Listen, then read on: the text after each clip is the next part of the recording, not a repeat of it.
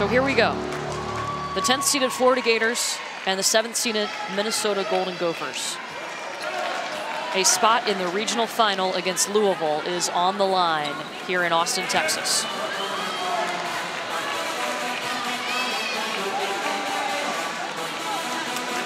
Fans, it's game time. Kylie Miller, who has been injured, has come back. The setter will start this off.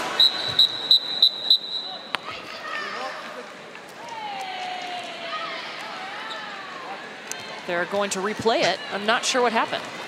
Serving for the Gophers, number 14, Kylie Miller. Mulligan to start. And here we go again.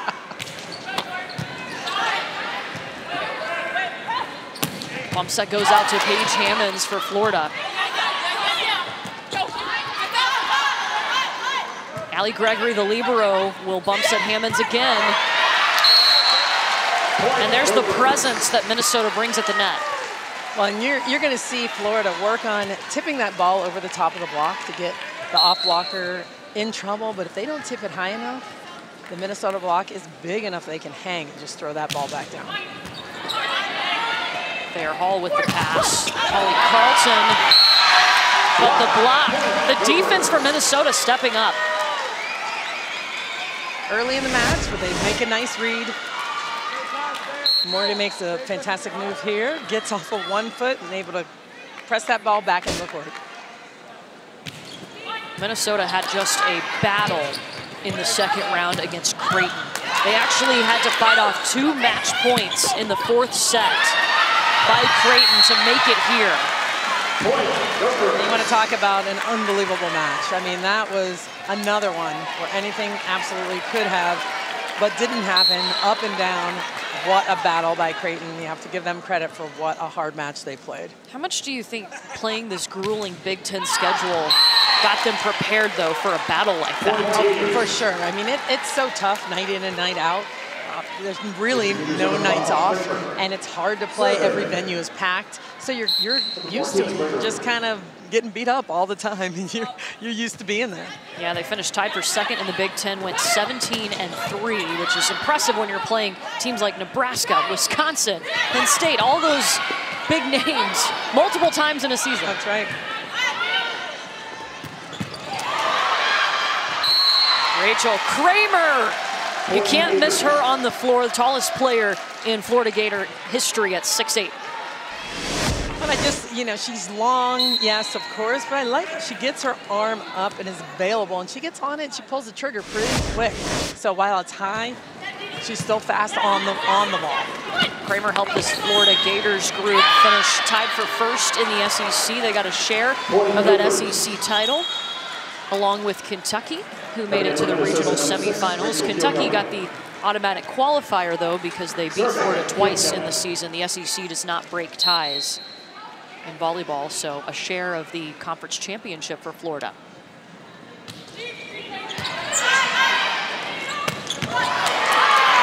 And she can be so terminal really, again, you see that Minnesota actually has three blockers there on a perfect pass. They're like, okay, we know where they're going with the ball here. They start in this bunch. They all kind of jump into the seam. She's still able to hit over the top through the block.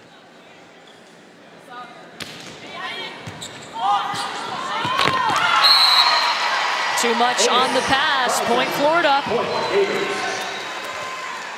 That's a rare passing error by CC McGraw, who's one of the best defensive players that I've seen this season. All Big Ten first team selection. Donna Rollins on the left side. Donna Rollins just steady, steady player. She's got tons of range. You see, you're gonna watch her arm move in a lot of different directions. Her arm, her wrist, and her game just expand throughout the course of the match. A lot of, lot of different shots, and that's what makes her pretty good. An All-American honorable mention last season, All-Region Freshman of the Year last year.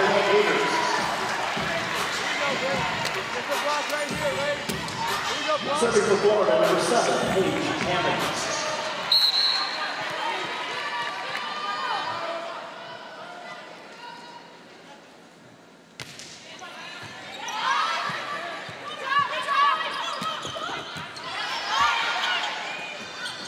Monserrat goes to Thayer Hall.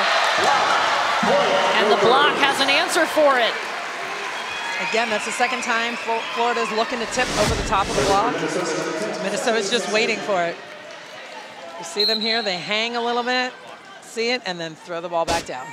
And keep in mind, as we said, Thayer Hall has not played in a match since November 30th against Texas A&M did not play in the first and second rounds out with an injury and really hasn't jumped in the two days of practice that we've watched. Yeah, and that, that's significant. It takes a minute to get going. You see her messing around with her little knee bracer now and finding that rhythm. Find it back, find her, her flow, find her swing.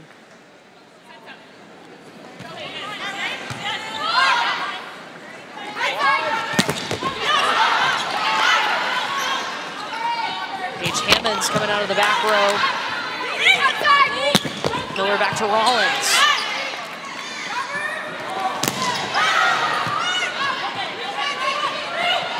Regan Pittman tips over the block.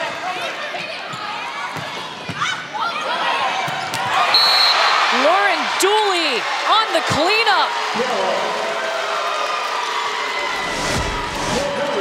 Any overpass, a ball that's coming over the net, you just want to be super smart with it, avoid the net, be, know where you are on the court. She just cracks that ball.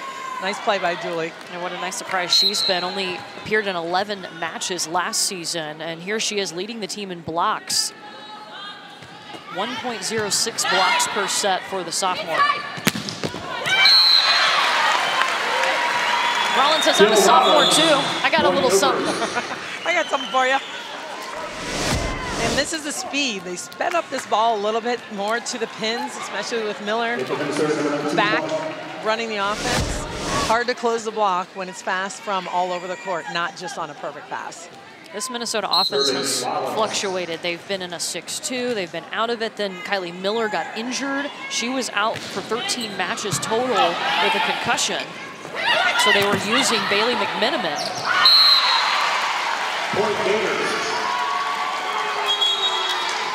I would imagine that would be hard as an attacker to try to find your rhythm when you're moving in and out. It is. It's, it's hard to find a rhythm in a 6-2 no matter what. It has to be consistent. The flow needs to be consistent. But, that, you know, the Gophers did such a nice job during the course of the season. season. They were winning.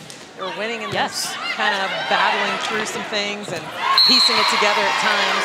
So that's what was so impressive, I think, about them. And now, heading into the tournament, settled into this 5-1 and see if they can work on it and peak at the right time. Miller spent three seasons at UCLA before transferring into Minnesota this year. They shanked a couple. Hey, I like the pace on the ball with the Florida serve. They served this ball tight. I was thinking about this when I was watching them in practice just how aggressive they are. Ball just kind of on a rope.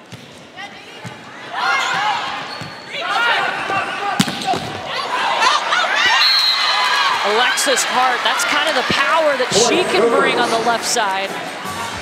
That's what you're going to see. You're going to see a lot of that from her. She likes to hit. She likes to hit hard, and especially out of system. You see her weight. She's deep, way 14, 15 feet off the net on a ball that's off the net so she can keep that ball in front of her and see the block.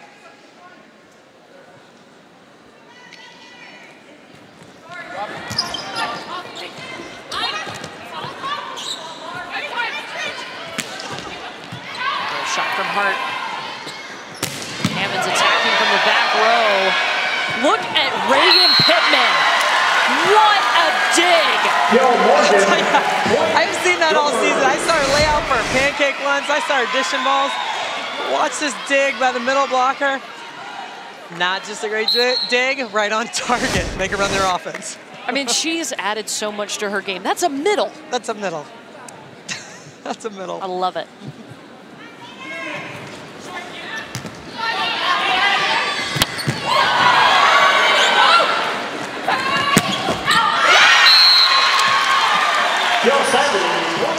Hart with enthusiasm.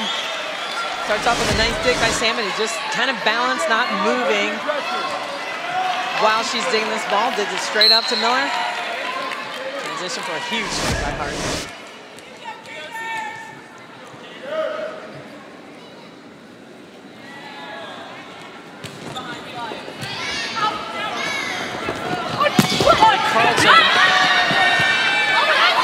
Hammons has to hustle over, excuse me, Taylor Morgan.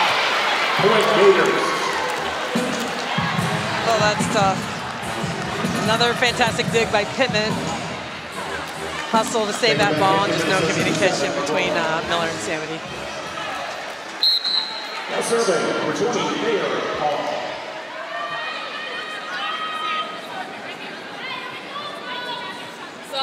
It's in. Sammy. And Taylor Morgan just a little loop over the net. Point Brewers. Thayer Hall in the right spot, digging this ball. Just goes a little bit long. Overpass. Again, Morgan smart with her feet, shuffles over to get that ball on her right shoulder. Make a nice swing.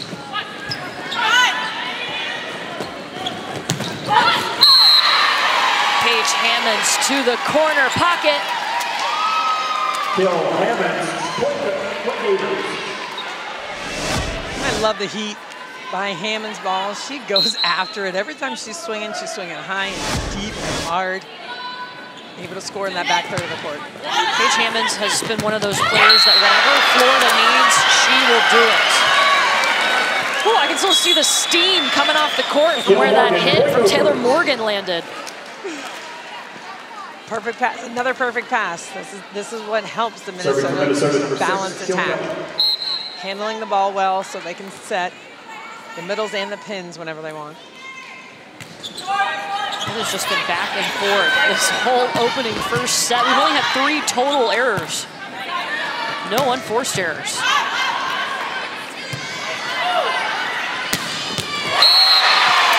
The placement on that by Paige Hammons, wow.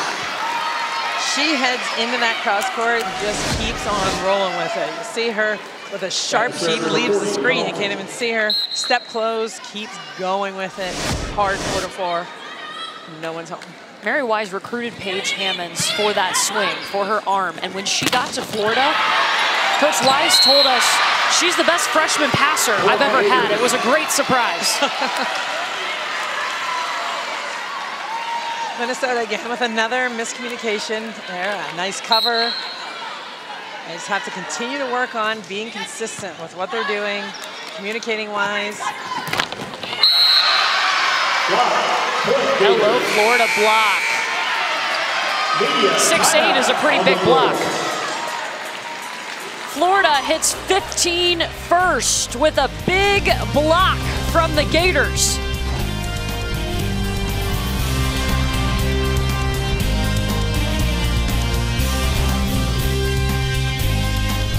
NCAA Women's Volleyball Championship coverage continues with the national semifinals beginning this Thursday, December 19th at 7 p.m. Eastern on ESPN. For more information on the NCAA Women's Volleyball Championship, visit NCAA.com, your home for all 90 NCAA championships. I've seen that Florida fan a lot. He's got the pins of all the different schools on his hat. You gotta love it when, when people travel. Yeah, made it all the way to Texas. That's I love it. A pretty even match so far. Both teams hitting over 300. It's been solid volleyball. Has been.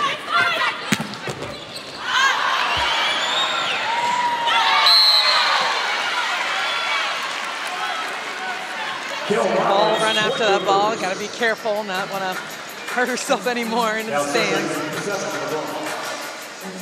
We said, Hall did not play in the first and second rounds. Then for the first time, we're seeing her wear this knee brace on her knee. Florida just says that she's dealing with an injury.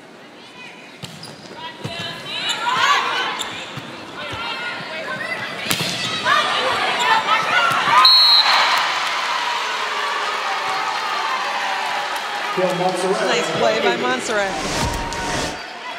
Heads up play by the setter. High off the block. She's smart with it and just kind of throws it down, gets fired up. I got to see Florida in person really early on in the season against Stanford. And the decision making for Marlie Monserrat was just not there quite yet. And Florida didn't have their offense going. And it's going now. It is going. I love how she distributes the ball. She moves it around it's definitely developed over time, and she's playing at an extremely high level.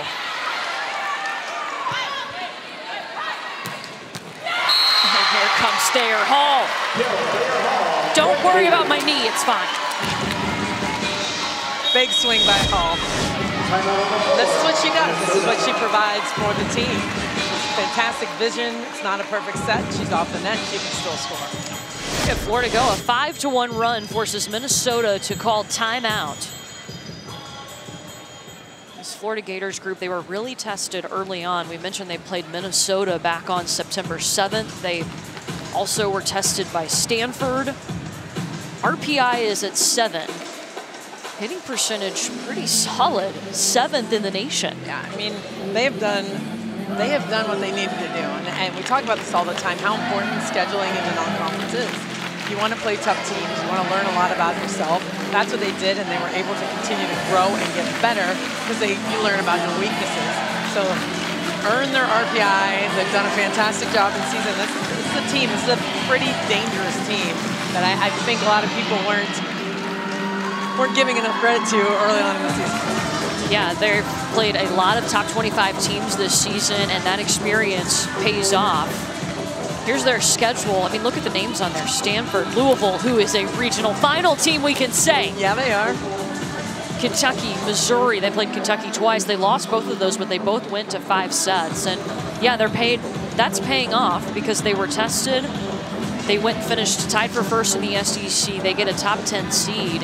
Then, you know, in the tournament, we have a team like Pitt who didn't play the toughest non-conference schedule. Their conference schedule really didn't help them out. They only lost one match. It was to Penn State, but they didn't get a top four seed because of scheduling. And, that, and that's it. And that's that's the difference. And uh, people don't understand. There's so many factors involved, but that's part of it. That's part of the equation. It prepares you, and it puts you in a good spot.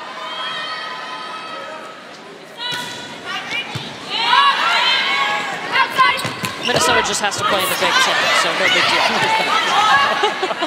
deal.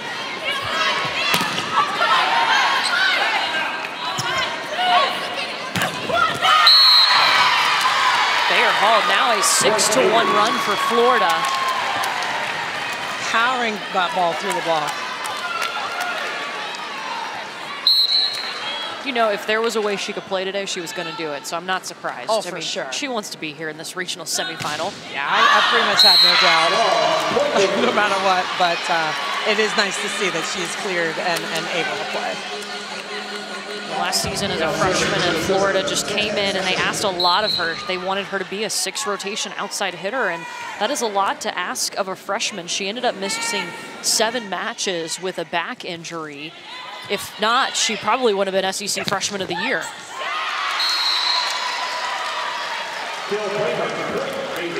And even with that injury, she you know she took a lot of the offseason off. She did not jump from January to May to heal that back. And look at her number improvement That's this season. That's unbelievable. That's a, a long time, a long time to not be playing.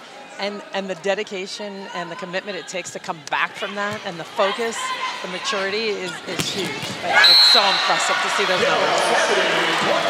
Stephanie Samedy flew out of the back row. We talked about this before. This is what this is what Minnesota needs. They need Samedy to have a big night along with her balance. They need to be able to rely on her when it's time for a big swing and a big kill. That's just her first kill.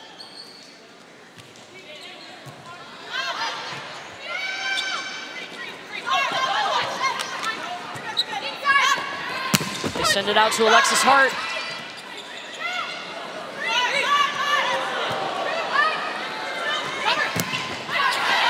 Pittman into the block. Miller will bump set Hart.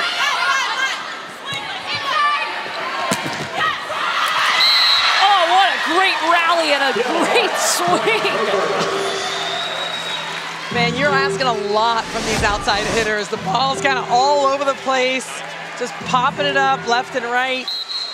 Out of system swings, that's what's going on right now with the outside hitters, and Hart comes up with it. Hart five kills, no errors. Lauren Dooley just got stuck.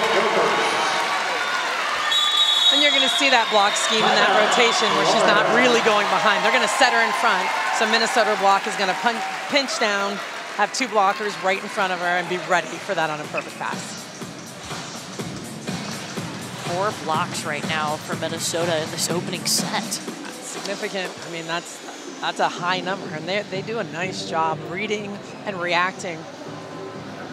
And again, that's a that's part of the scouting as well. You know, where are they going with this ball right now in this rotation? What can they do? Eighth in the nation in blocks per set, coming in at 2.85. That is Minnesota. As we mentioned, they've already been tested. Fairfield, no problems in the first round, swept Fairfield, but then Creighton, five sets. Man, two match crazy. points. It was absolutely crazy. I, I was watching this match after uh, the match that I, I called right before that, and the way Creighton battled and the way Minnesota came back was just it's just one of those things. That's what the tournament's all about. Yeah, three of the teams in this regional coming in had to play in five sets in the second round, and Minnesota was one of those. And I, I was shocked that they pulled it out. I couldn't believe they turned it around, but man, they, they absolutely did. I mean, it's shocking too when you look at the stat sheet because Minnesota hit 141 in that match. But then you look at Creighton, they only hit 110. Right. There you go. You know, if you're Creighton, you're watching this going, oh, we Uh, had two match points in the fourth set. It's painful, you know, when you, when you have it and you and you it slips away. That's Yeah. tough. And then Creighton to get over. Yeah, Creighton, their hitting percentage in that fifth set, negative 038.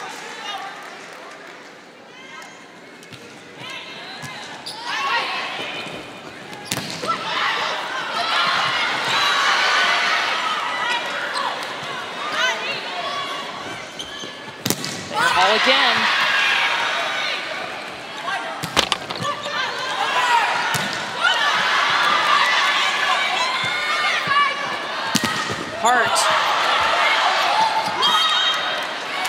Just a lucky up. Oh, Minnesota in the net. There's some big swings on both sides of the net, but I like how the block, the block touch is involved. They're not just stuffing balls right now, but both sides of the net, slowing balls down, allowing the defense to play, transition back. Yeah, there's so many times the block affects the rally so much, but you don't see it show up on the stat sheet. Exactly.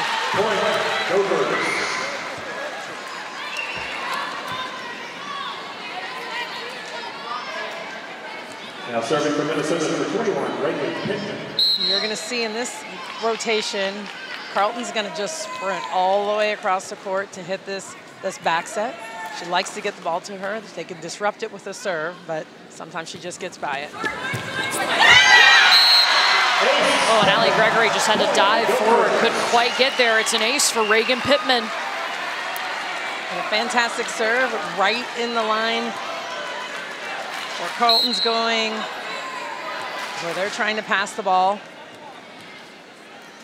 Five to one run by Minnesota, looking to tie it.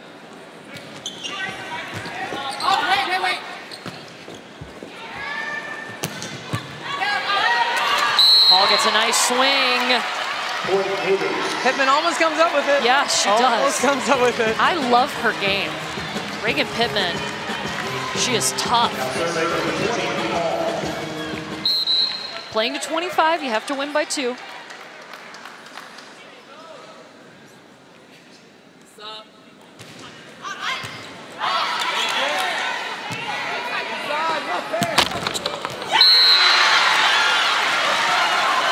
Man, Hart getting that ball just off the top of the tape. A bump set from way off the net by McGraw. Still going hard. I tell you, Hart likes to go hard, man. She's afraid of no challenge. I respect it. Played middle and club, and here she is as an outside.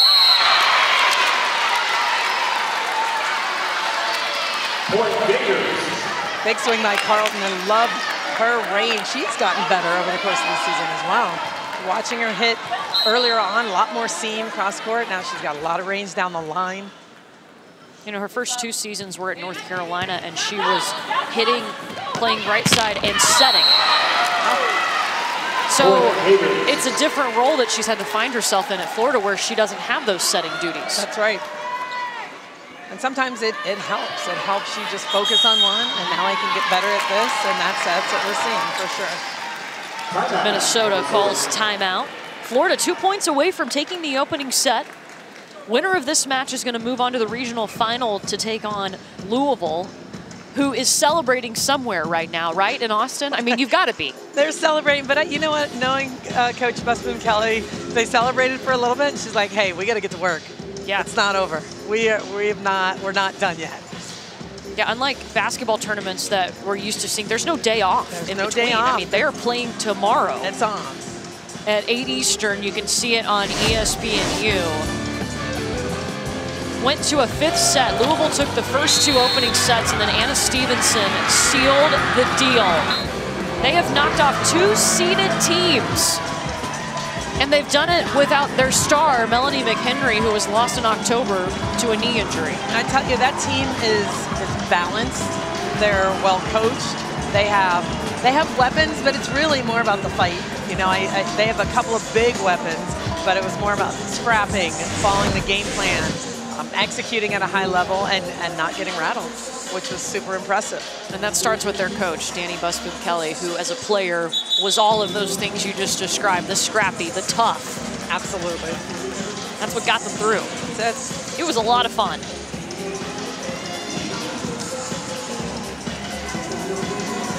biggest upset in the tournament so far. And now one of these teams has to go face a Louisville team that's riding high.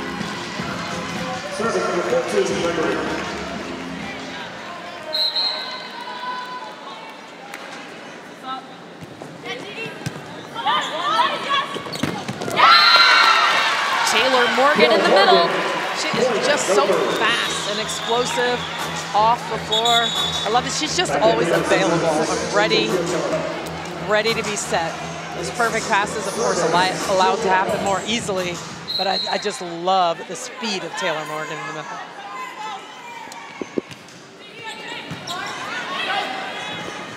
Rachael Kramer on the slide. She has worked so hard on adding that element to her game. She's she's hitting at a high level. Five, six kills now, zero arrows, hitting 750. And it's nice to see her expand the variety of sets, her game, and the ability to play at a high level. Oh, they're going to say Thayer Hall was in front of the three meter line when she started that attack. Still set point for Florida. Yeah, looks like she just got her toe on the line. You can jump from behind the 10 foot line and land in front of the 10 foot line, but you cannot, the three meter line, excuse me, you cannot step on it or in front as you're attacking.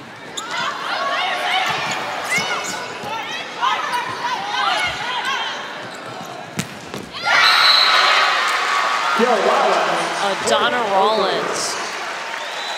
Minnesota has some explosive pieces. They do. Now, Florida got themselves in a little bit of trouble sending a free ball over the net, and they're able to run this fast ball to the pin, and Monserrat's not even able to get back there to block.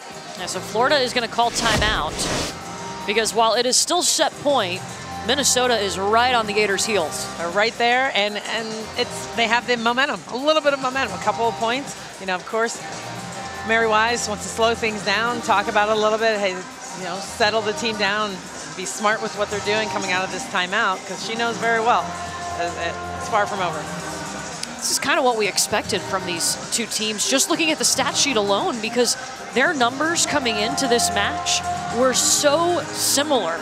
I was I actually had to double check to make sure I was looking at the di a different team. I know it's it's kind of incredible looking at kills per set, hitting percentage, they're about even. Blocks, I mean, it's really kind of crazy. You're right. Evenly matched team on paper, and I, I would say physically as well. You know, they both have physical players that can attack the ball, setters, very good setters on both yeah. sides of the net, liberos. I mean, it's really a very evenly matched team. People are asking me all along, what do you think? I'm like, I don't know. Yeah. I got nothing. I don't know. It's going to be a battle. They also have those veteran players who know what it's like to be in this environment. They can keep the team calm. I haven't seen either team panic in this set. Well, they both have experience. They yeah. both have been there before, and that's that's huge for the coaching staff and for the players as well. As well, it trickles it trickles down from the staff to the veteran players, and then of course to the underclassmen. So they've been here. They know what it means. They get it, and they just have to take care of business. Set point for Florida.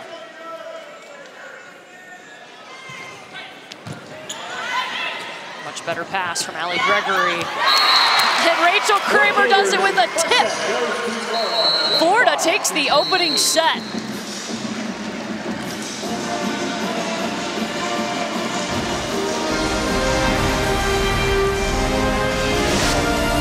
Rachael Kramer one more time, tipping over the top. That's what they need to continue in the next set.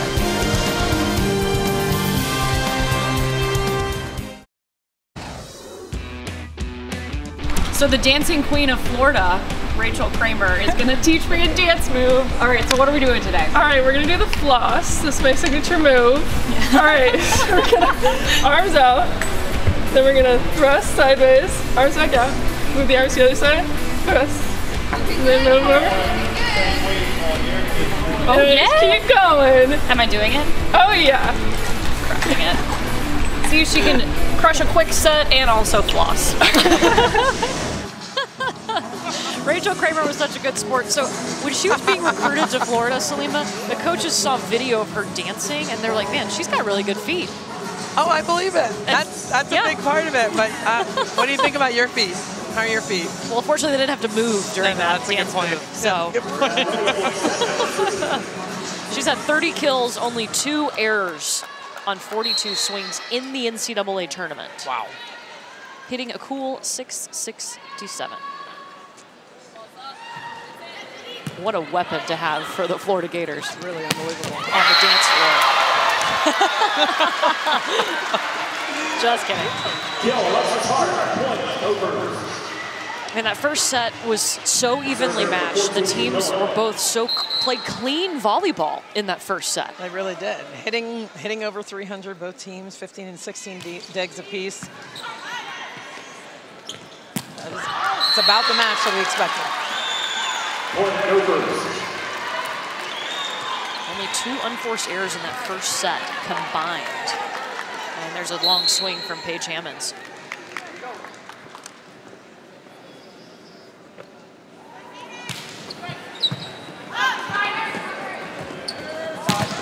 Gets another shot, and she's blocked.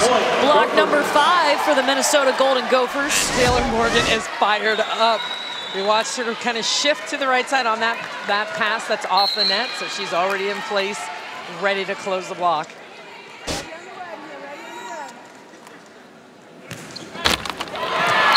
And an ace for Kylie Miller.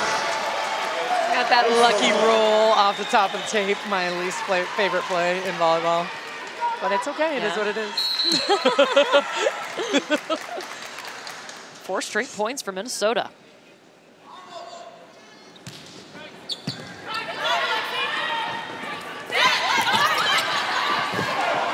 Oh, there's a collision. Alexis Hart and CC McGraw tumble over each other.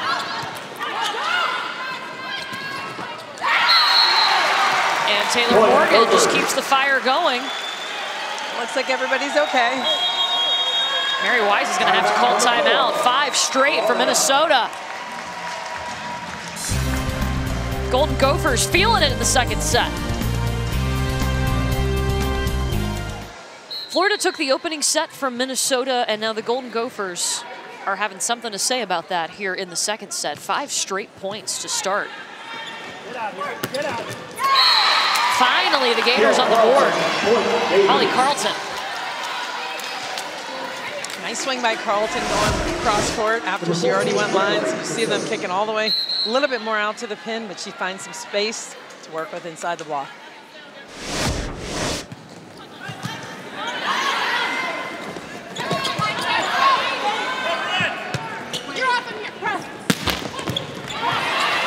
Good up from CC McGraw.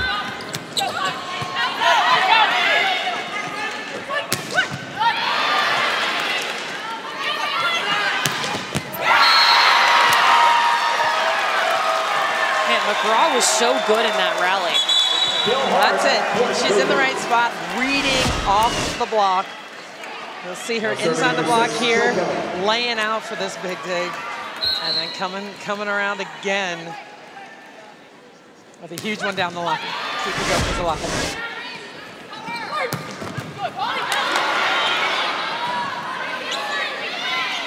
Free ball coming to Florida. Kramer. Kill number eight. That's what happens on a free ball. And again, with her length and her speed, it's hard to stop her, even if you know that's where the ball's going to go. See Morgan's here. Rollins kind of pulls off the net a little bit, not expecting it. And then Florida follows it up with an ace. This is one of those mid-zone serves. It's not a short serve, but it's just a ball that's flat and drops in the center of the court. It's hard to perfect one of those serves. Well, you can. It's pretty deadly. Donna Rollins. I feel like every time Minnesota gets a kill, I'm calling somebody else's name. That's exactly right. Yeah, we'll just go back to all that that balance. They're a little bit off the net here, have, forced to set her, but a smart swing by Rollins. Just chopping that ball at about 75% to the deep corner.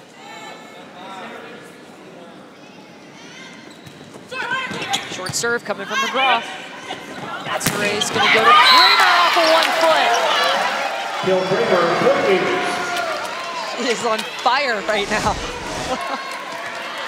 Now serving number seven. Anytime there's a ball she can possibly get to her, she's going to fling it back there to her.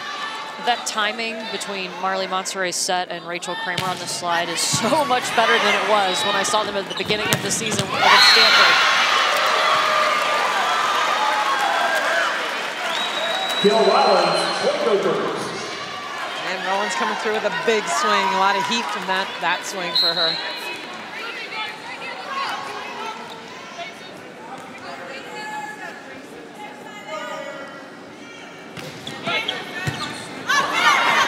Overpass. Oh, Pittman barely made contact with that. Pretty. She's so smart. It's ridiculous. This is like Serving number 10. they run this slide. She just hits a little roll shot. Who hits a roll shot on a slide? Nobody, except for Regan Pittman. She can do whatever she wants, Salima. She's a good volleyball player.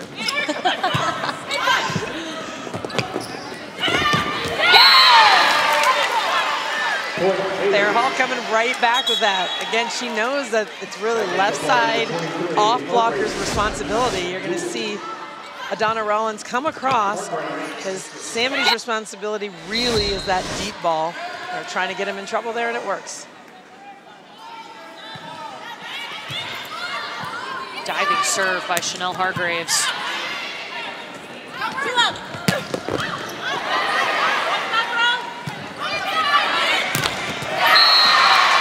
The Florida block. Third time tonight. Walks in a nice position out of system. Rollins might want to think again about this ball that's falling into the net where she has no room and can't really see the block in front in front of her. A little smarter with that swing.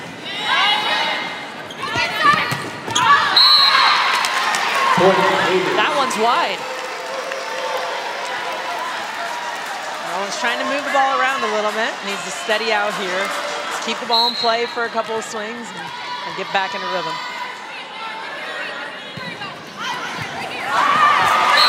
There's an ace for Chanel Hargraves. Four points in a row for Florida. And this is the tough part in this rotation. If they can't get the ball to Pittman, they still can set Samedy out of the back row. But if it's not even a, a pass up in the air, it's hard to hard to run your offense. There it is. Boom goes Pittman. Kill Pittman, point Gophers. That's the ball they need. This is the timing. Number 19, Mark Hackett. And man, if you can get Pittman the ball when it's time to get a point, she's gonna unload on it. Rollins serving.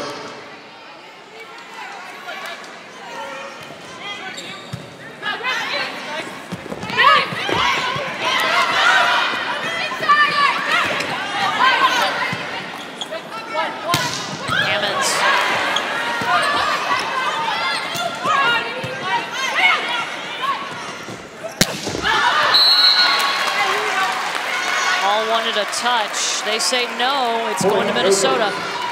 She was binding up for that one, going big, going big or going home. Just missed the top of the hands.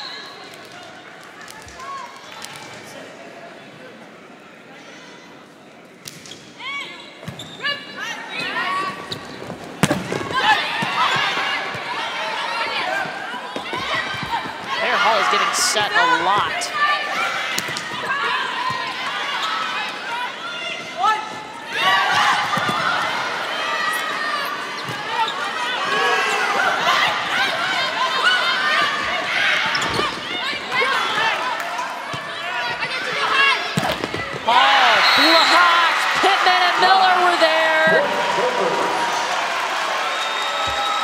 Pittman ends that play, just surrounding this ball here. Watch her hands finish into the middle of the court over the net. Looks like Sokolowski's in, giving Hall a little bit of a breather. Yeah, Mia Sokolowski, number nine in the blue jersey. There she is, and hits the antenna.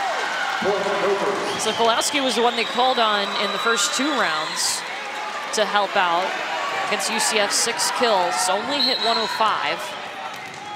That's a tough, again, tough rotation for them. If they can't get, if Dooley's not going to really get set behind, Minnesota blocks knows where that she's going to be. Might set Hammons out of the back row to get a kill. Five straight points for Minnesota forces Florida to call a timeout.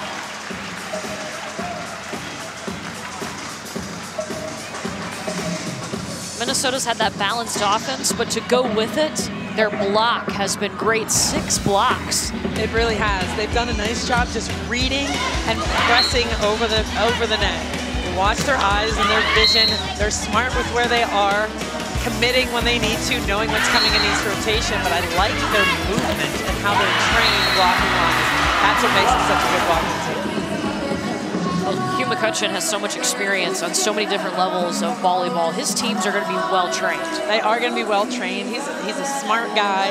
He's big into biomechanics, how they move on the court. Um, really playing to their intellect and saying, this is where you need to be. This, these are the angles. You know, it's, it's pretty interesting to, to listen to him coach and he knows what he's doing. I mean, he knows how to he knows how to coach at the highest level. Yeah, has been with the men's and women's Olympic teams here in the U.S. He's actually the only coach to guide the men's and women's Olympic teams to medals. Yeah. That's impressive in itself. It's it's so impressive, and, and if you get to know him as a person, he's a he's a pretty cool cat too.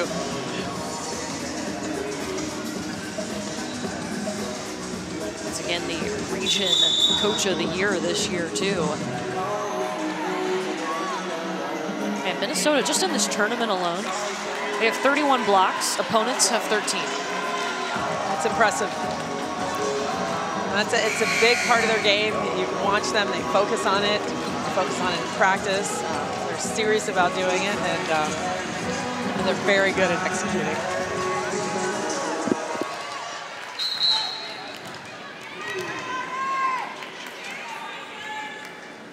Donna Rollins keeping it moving.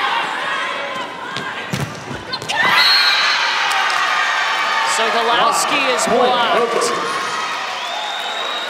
Then you go back to this perfect pass. You'll see Hart is just waiting on Dooley. They can push down, and that leaves Pittman to release and just get to the outside.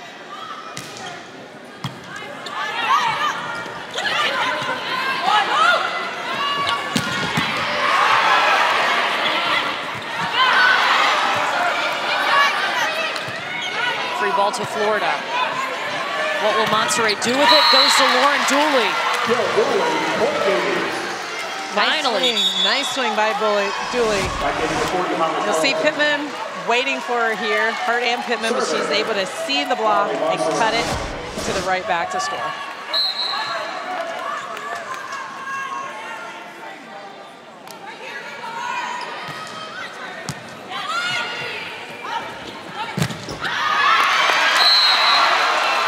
Regan Pittman is unstoppable right now. Four kills. A monster swing on a perfect set. The ball timing gets all the way to the pin, and you're going to see Sokolowski just drop that left hand and get hit off of that outside edge of her arm. All four of her kills have been in this second set.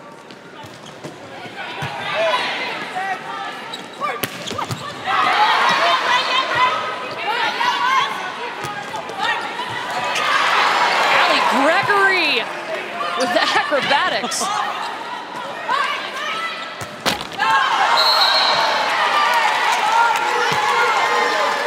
Big play by Gregory. Wasn't sure where this ball was going to go, and I love she just flies around the court. She's going in one direction, she changes directions, just dives all over the court. Jenny Rowland might want to see if she wants to pull her over to the Florida gymnastics team after that one.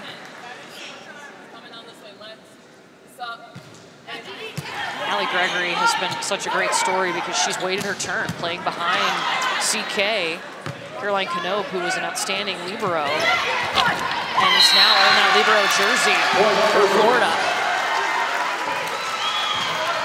Florida again looking for that tip over the top of the block, and the Minnesota block just kind of hanging, waiting for it, throws it back down.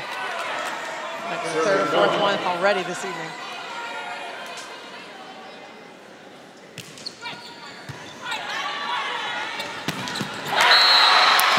Lauren Dooley with a little bit of power on it. And it's been see her. She's getting set more and more. In the last few weeks of the season, she's up and available. Gets that arm going. She gets it going fast.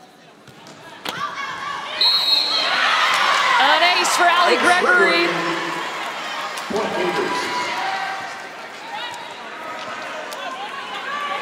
Hugh McCutcheon does not pull the challenge card.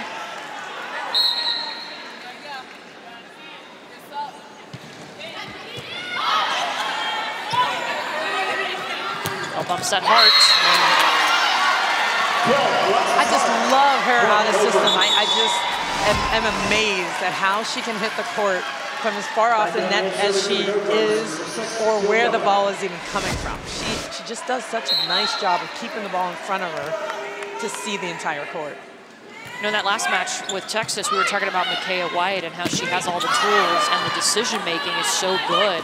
We're seeing that from Alexis Hart. Doing the same, same thing. And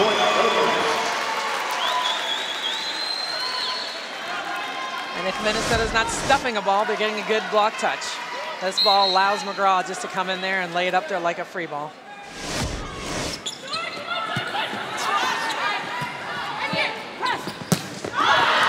Paige Hammons sails it. Minnesota at 20 points. And Minnesota doing a nice job mixing up their serve. They're serving some short, trying to get Hall on the on the floor, get Kramer out of the equation, anything they can to disrupt the offense right now. And they are definitely doing that, hitting O negative 067. After the Gators hit 326 in the opening set.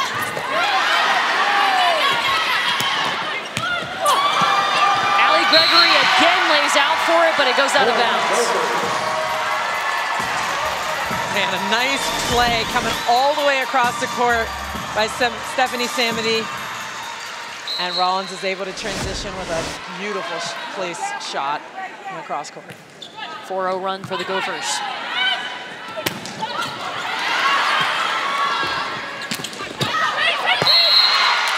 Off of the Florida block. It's like a weapon for Minnesota. It is. I mean, that's smart. Stephanie Samedy right now is just looking for at the block. Am I going to skip high hands? Am I going to tool out of bounds? Doing a nice job, just not crushing the ball, but being really smart with it.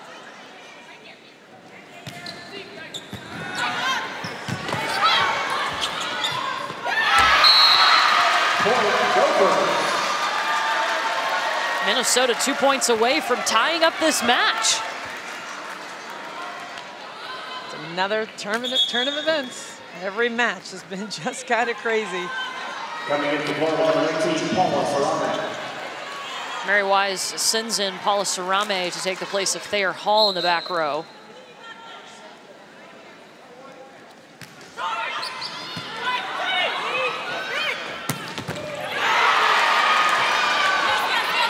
Huge up.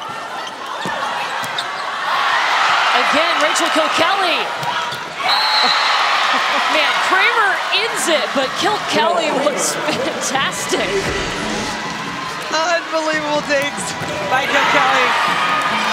Making some huge plays. Keeping this ball alive, saving it. And then Kramer ends it with authority. Oh, Kelly just pulled back in time to let that one sail long. It is set point Minnesota. Set point, Minnesota. See on a perfect pass if they send two with Rachael Kramer, send two blockers with Rachael Kramer.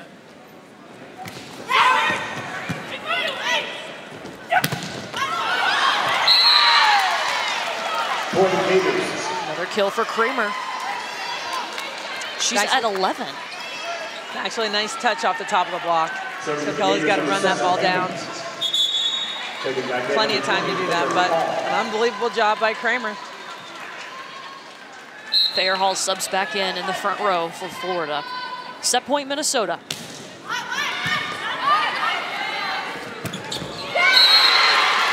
How fitting is it that it's Regan Pittman who has had now five, all five of her kills in the second set. Minnesota ending it on an 8 to 2 run. They just dominated Florida here in the second set, 25 to 14.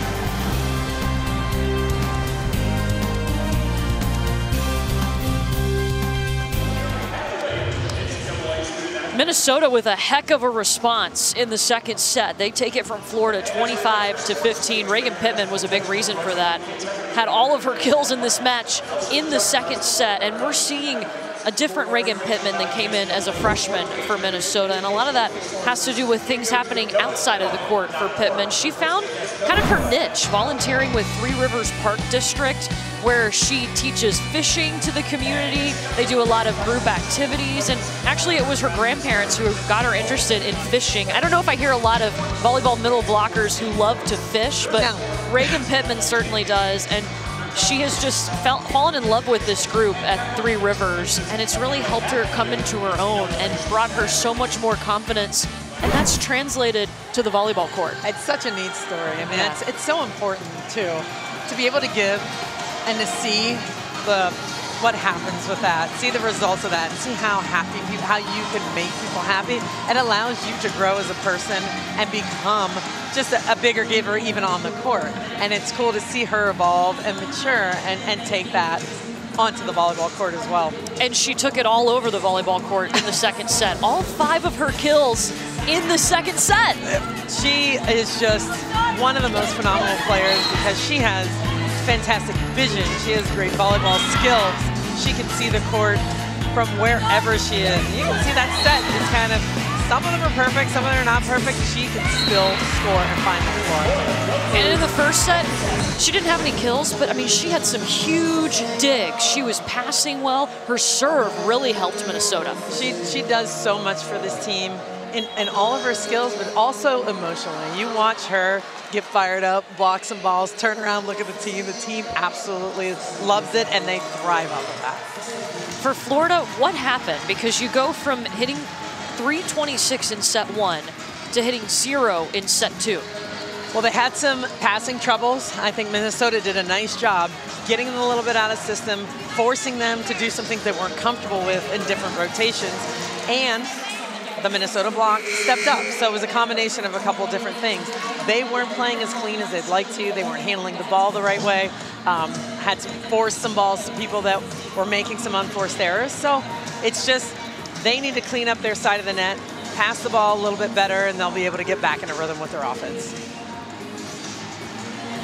So we will at least play four sets here. Winner of our match moves on to the regional final to take on Louisville who, if you're just joining us, upset Texas. Unbelievable match. It was un it was amazing.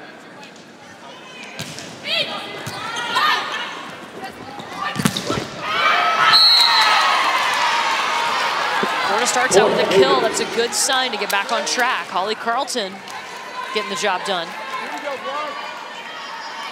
Carlton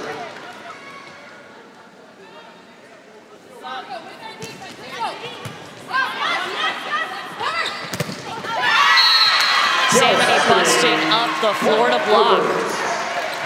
I like this little play they run with Samedy now. They it's a back two, kind of just a little bit closer to the setter, not all the way out there to the pin. So they're not forcing her to run all the way across the court in rotation one. They just want to, hey, we'll just lay it back right behind my head and she can still score.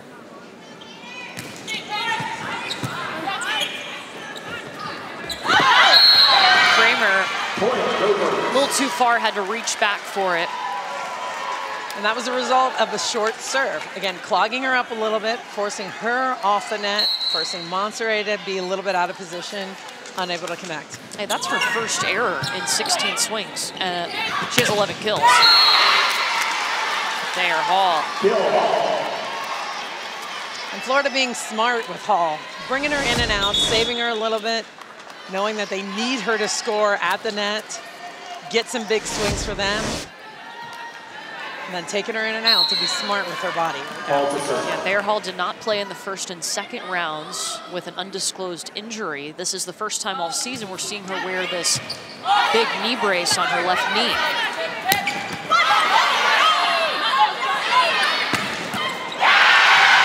Ooh, I like that swing from Adanna Rollins. Smart, nice high swing.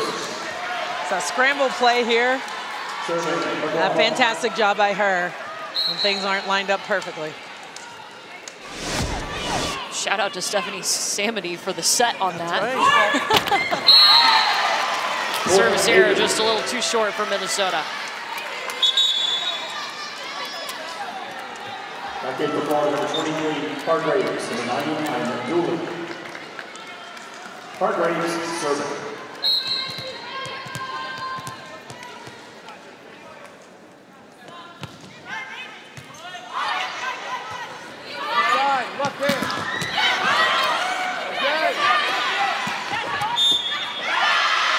Florida in the net. And Florida has Mia Sokolowski in there and Paige Hammond's not on the floor. Hammond's in, hitting in the negative right now. Yeah, she's struggling a little bit, so it, it makes sense. And it's nice that she has some options. She can give her a breather, bring Mia Sokolowski in, and, and kind of rotate those guys around.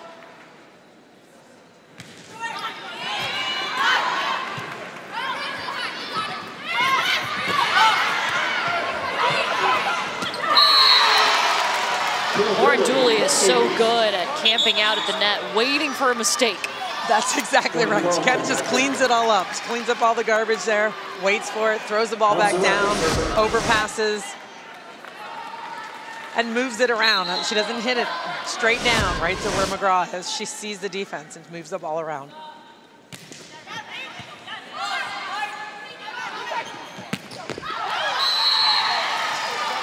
No touch. Rollins looks like she's going for hands and misses just long.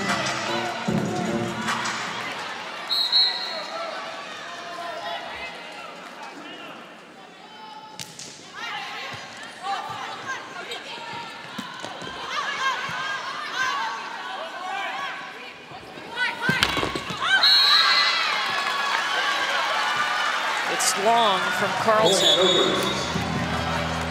It's a nice out of system set to Carlton. She just got a little too sharp.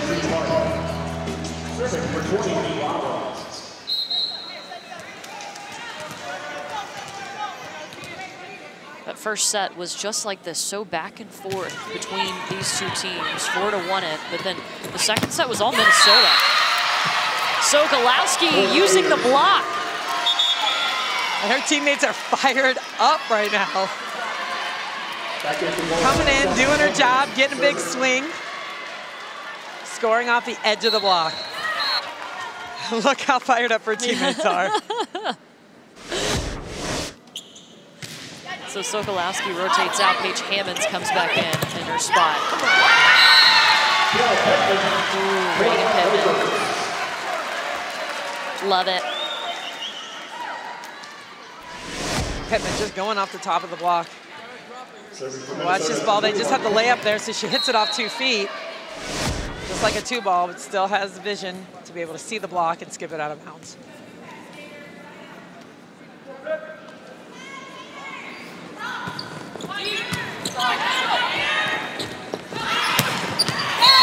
Calls on Thayer Hall.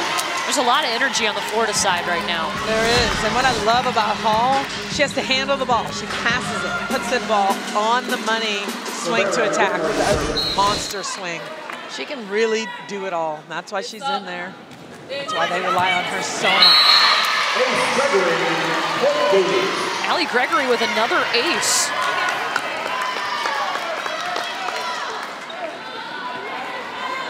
Florida has six aces.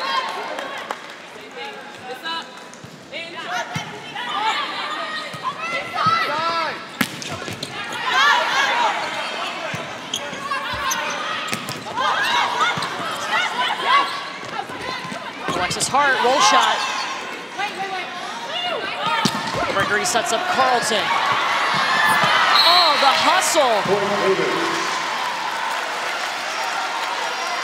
Minnesota doing everything they can to keep this ball alive, but Carlton's swing here in the sharp cross court. Samedy unable to come up with that third ball.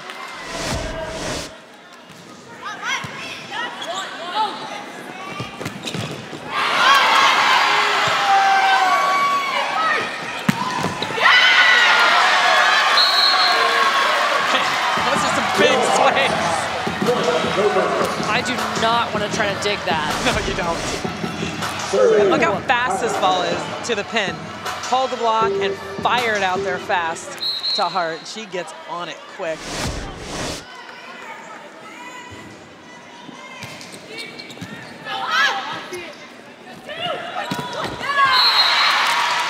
Carlton off the block. Florida's offense is flowing so much better in this set than it did in the, the second set. It is. They're handling the ball well, but I like what Monserrat is doing. She's she's moving it around, getting herself in a good position, and not just setting the safe set, running away from the play, setting behind her a little bit, forcing some things, and putting up a nice ball.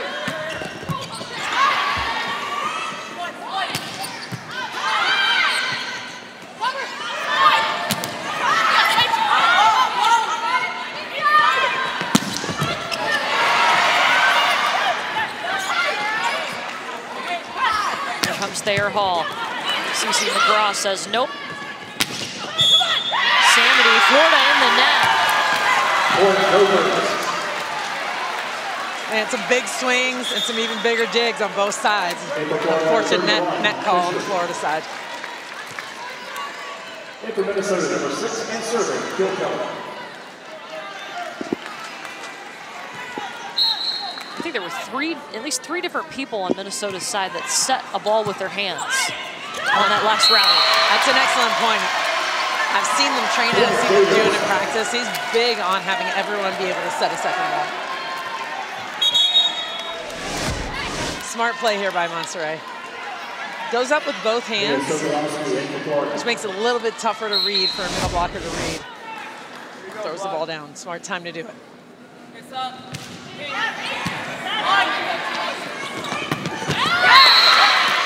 Miller very quickly to Taylor Morgan. Yeah, Minnesota handling the ball well right now. Perfect pass in there to Miller. And I like Morgan sees the block and cuts it just around it.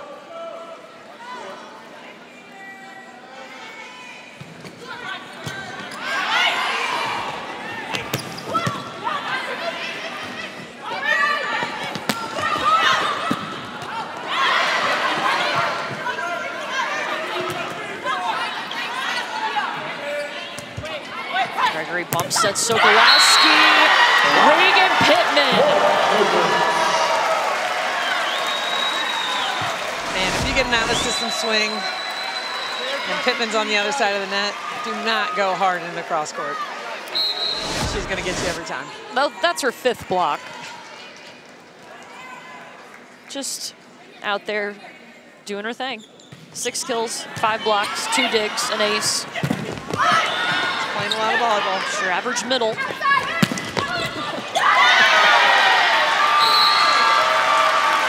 Rollins, point.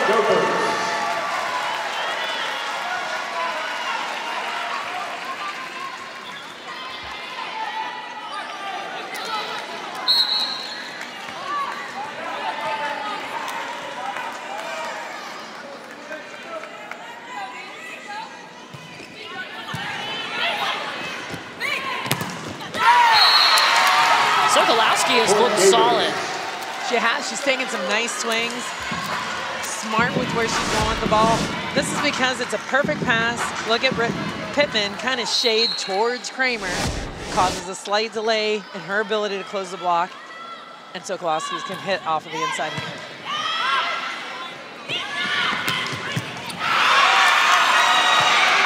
Kramer with a huge dig. The Florida bench just lost their minds. Riley Fisher lays out for it. Pittman finishes it. Love to see Kramer with that dig and the way back. Huge dig. Florida just flying around. And Pittman coming through, seeing the defense.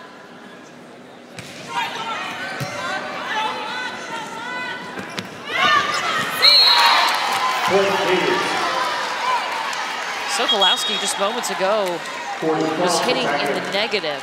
Three kills now for her. And that's the tip they've been wanting to execute this match. Over the top of the block, force Rollins to come in, force Samedy to come up the line, and no one's able to get that ball. All three of Sokolowski's kills here in this set. A rare miss, long for Regan Pittman. Timing looked just a little bit off. She was hanging a little bit in the air. Still wanting to take a big swing. Just missed wide.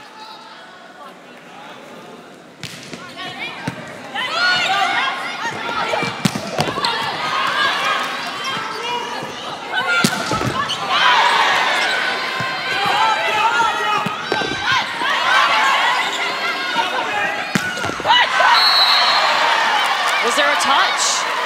There. They're pretty adamant about it. Yeah, but Hugh McCutcheon has already grabbed the green challenge card. He immediately went after it. First time we've seen a challenge in this match. Each team gets three challenges. If we go to a fifth set, they would both get an additional challenge. Looking for a touch on this. Oh, yeah.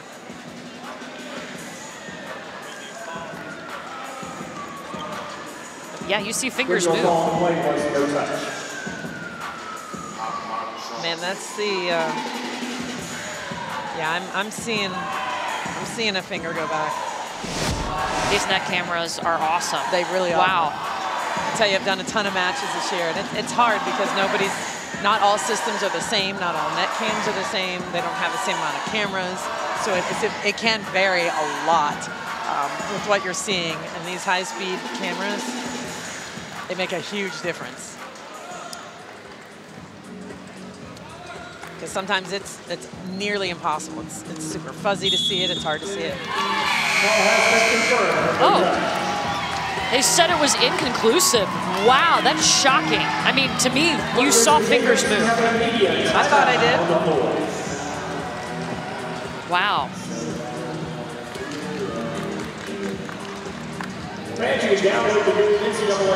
Okay, well, Minnesota will have two challenges remaining unless we go to a fifth set. And I guess we stand corrected. Wow. Florida leading here in the third set, 15 to 12. Well, Hugh McCutcheon lost his challenge, and yeah, I, we, that's that was kind of our reaction. It was a great reaction. That was perfect. I mean, we kind of thought that too. Now, I we don't I don't know what they're looking at. Right. They have our camera angles, but do they have the the slow? We don't know. So to me, you can see fingers move, but anyway, moving on. It's Moving Florida on. point. That's right.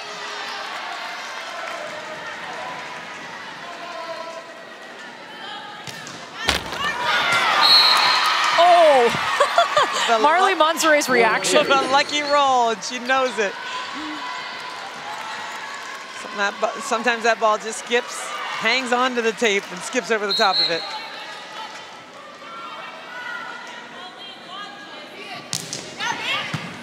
Florida has 19 aces through nine sets in the NCAA tournament. They're a tough serving team. man. Yeah, there is a touch. Well, they spend a lot of time on serving, and they get the radar gun out. Yeah. They're clocking serves. It's not just how fast or hard you serve it, it's your placement. I mean, it's all the spin on it. It's That's not right. just about the aces. That's right. It's about the, the movement on the ball. It's about how it's coming over the top of the tape, where you're putting it. and You're exactly right. Florida is on a 5-0 run.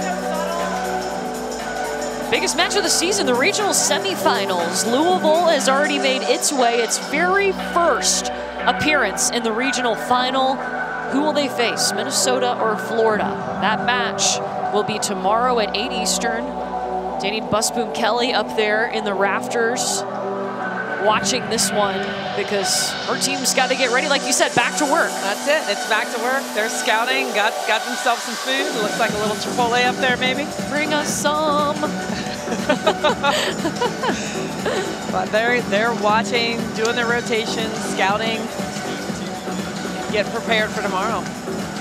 Yeah, it's a quick turnaround. It'll be 8 Eastern.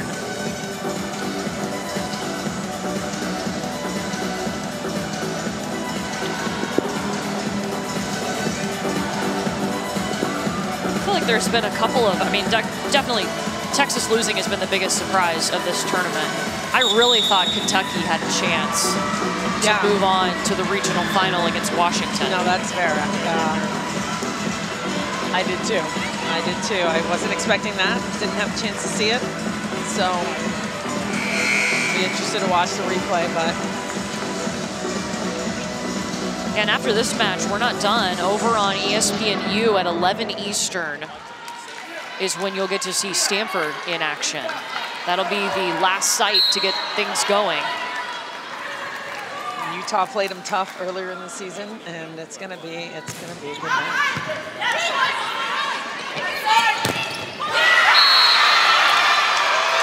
Look at Mia Sokolowski. Coming up big for the Gators right now in every part of the game. She kicks out, drops back into the court, knows exactly where Pittman's going to hit the ball. Checking for Minnesota, number eight. So Minnesota has made a substitution. Airi Miyabe, number eight in the white jersey, has come in. And they've also brought in a different setter in Bailey McMenimen, number 13 in the white jersey. Now, McMenimen has run this team before. Remember, Kylie Miller, their starting setter tonight, missed 13 matches because of a concussion, and then it became Bailey McMenimen's offense. So they're just going to try to up their blocking, change some things a little bit here what they've been doing.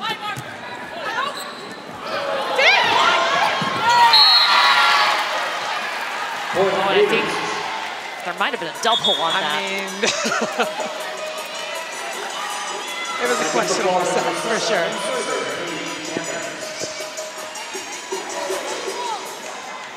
First time that we've seen McMenimen in the match for Minnesota tonight.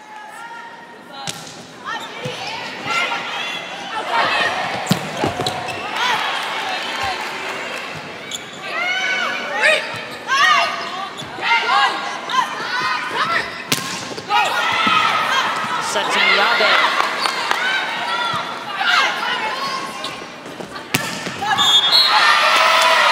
Thayer Hall, Minnesota in the net.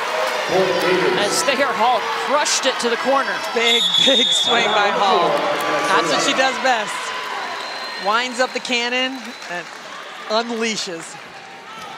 And so it's, I guess it's Minnesota's turn to have the offensive struggles. We've seen Florida struggle. They dropped the second set 25 to 14. And they flipped the script here in the third. They have, and so many teams this year. It's it's been really interesting to see some inconsistencies with some teams throughout the course of the season, even within a match. So teams are playing at high levels, and then they're dropping down. But again, there's so much parity right now. There's so many good teams that it's easy for another team to kind of take over. It wasn't always that easy. It was like, okay, we're on a roll. This match is ours. We're playing at this level. We win. These huge swings, I think, are because of so many teams with so many talented players that are able to turn it around and, and flip, the, flip the switch. Rachael Kramer has just been a dominating weapon for Florida tonight. 11 kills, only one attacking error, hitting over 550. Man, and they have used her a ton And this is why, because she's she's not just hitting the ball in the same spot, in line, hitting cross court. Now she's really added this slide and gotten better at it over the course of the season. It's something they can count on on a perfect pass. You know, we've been talking about big weapons in this tournament. Rachael Kramer definitely one of those weapons. Well, Cincinnati has a weapon in Jordan Oh, Thompson, they and indeed. they took the first set from Penn State right now over in the Stanford Regional. They're in action. There you go. We'll Crazy. see. We'll see how that one plays out. Yeah, so Cincinnati leading Penn State by a set. Stanford and Utah still to come at 11 Eastern over on ESPNU to wrap up our day of regional semifinal coverage. We're going to have coverage for you from today all the way through the national championship match next week in Pittsburgh.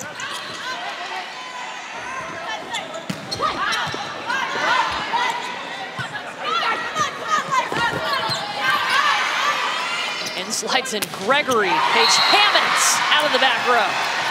Florida takes advantage. Couple of tight sets on the Minnesota side and are unable to get to any clean swings. Hart's tipping a lot of balls. just to force the ball over the net.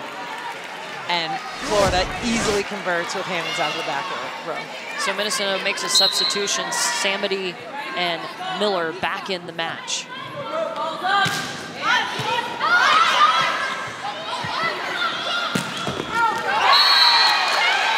Touched by Florida, point for the Gophers. Nice big swing by Hart. Point Gophers. Again, out of system. She cleans up a lot of stuff out. there. Not just keeping balls in play, but scoring.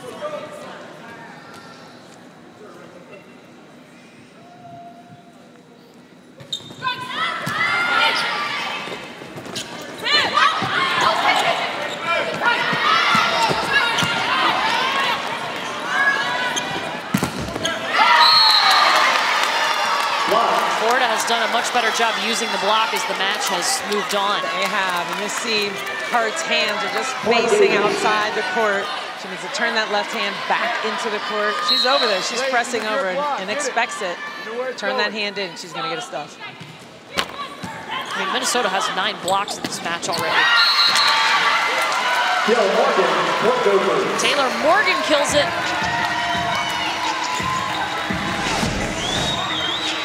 Minnesota just finding ways, trying to make their way back into it, forcing that ball to Morgan. Florida just three points away from taking the lead in the match. And Kramer can certainly help them do that.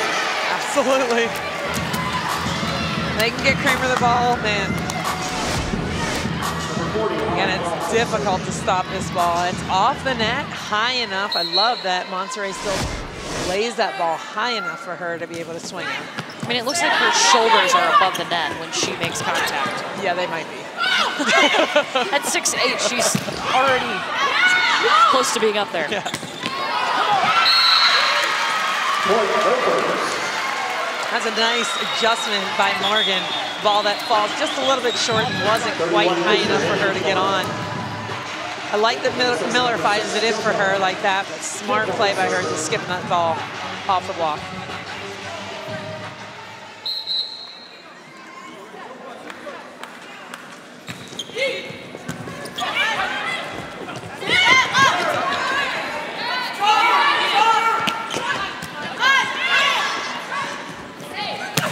Hall. Powered right at CC McGraw. Man, can't even handle it. So much power behind this swing. Watch her just wind up here. Big old swing into the cross court. Set point Florida.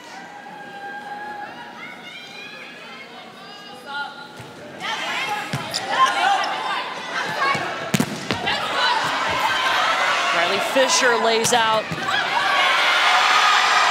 Back to back Thayer Hall. And why not? Thayer Hall gets one kill. Then she's got to get one in the back row too to seal it. Florida has taken a two sets to one lead in the match.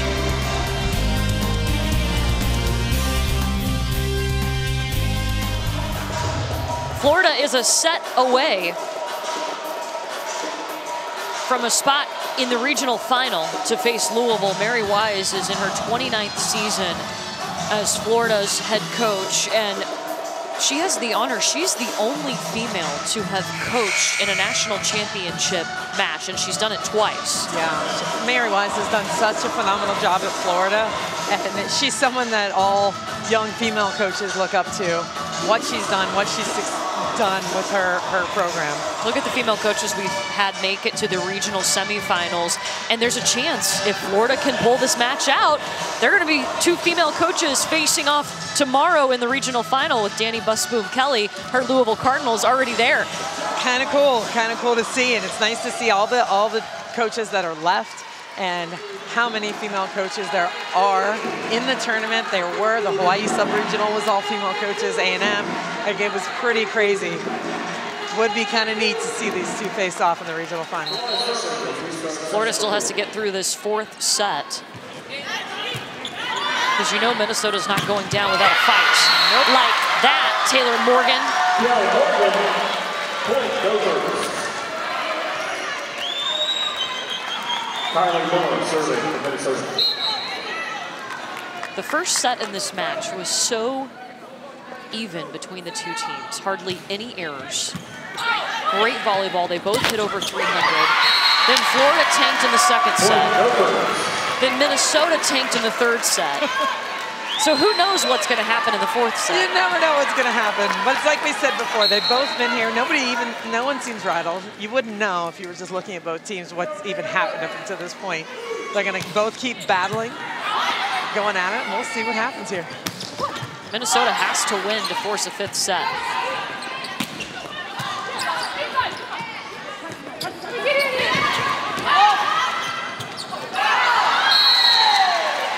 Long swing from Taylor Morgan. Yeah, I think she may have had a little indecision. It was that second ball. She may have thought about setting and then she jumped a little early and hit that ball out of bounds. Tough play.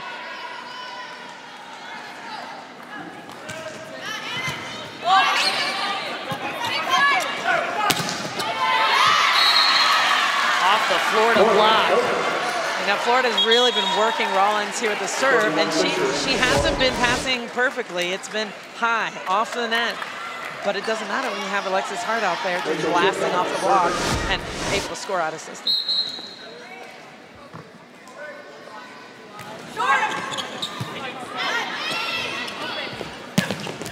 Little traffic on the Florida side, but Thayer Hall doesn't mind. And then that's exactly what Minnesota was trying to do. So you'd like to see Taylor Morgan already be out there, hanging out, camped out on Thayer Hall, because Rachael Kramer was completely out of the play. Thayer Hall has looked pretty solid today. 11 kills, hitting 241, six digs. Did not play in the first and second rounds with an injury. Morgan, not playing like she's injured, that's for sure. Jumping well, a lot of heat. And of course, Taylor Morgan coming back. They just lay this up there, not even a fast one ball. Now they're just setting like a one and a half, hanging it up there for her to just see, see where the court is and hit over the top. She rotates out. Mia Sokolowski flipped a switch in the third set she's playing well. I mean, she's, she's moving the ball around. She has good vision. This is a long, long outside hitter. You see her arm when she goes back to swing. Reaches high, top of her reach.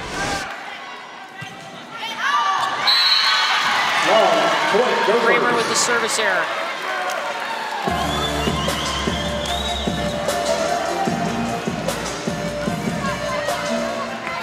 Sandy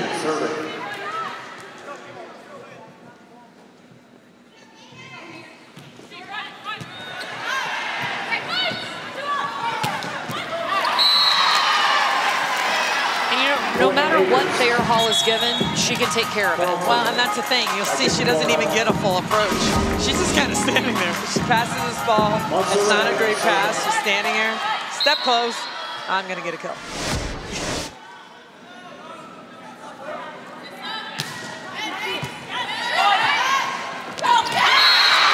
Oh, great decision. Kylie Miller being aggressive. Point Gophers. And the reason this dump works. She waits to the last minute. The ball's being passed. She's kind of just hanging out. Like she's going to set it. Hands go up. Last minute. Flings that ball down.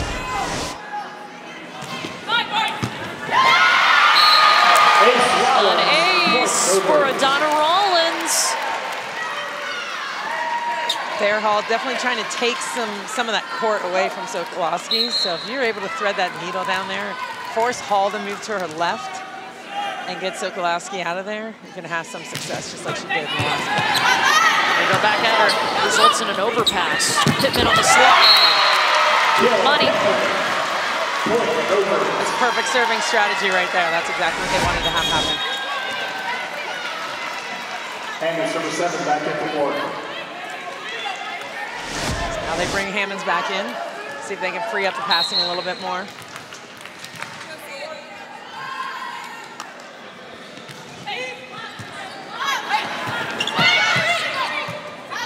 Not on that one. Free ball to Minnesota. Alexis Hart well, well wide. Yeah, I think that ball was a little fast and a little low for her. So kind of a wild swing there. Maybe she could have cut it off. A little miscue from the setter to, to Hart.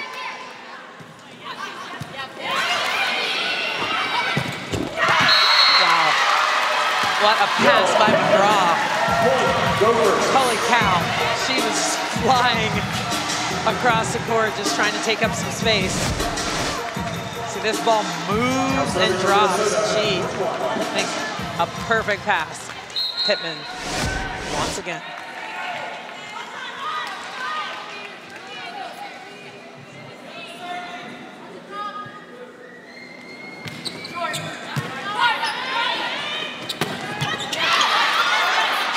Look at the dig from Pittman.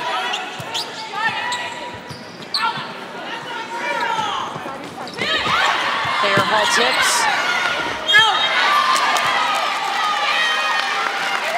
Oh, and they get Minnesota in the net.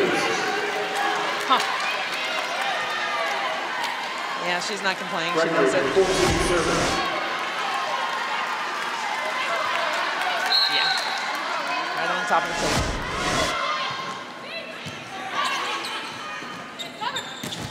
From Samedy, blocked. Timing a little bit off on that set, and Gators are there in a solid position, ready to block the ball. Stephanie Samedy's been a little bit quiet. Five kills. She's had 13 digs.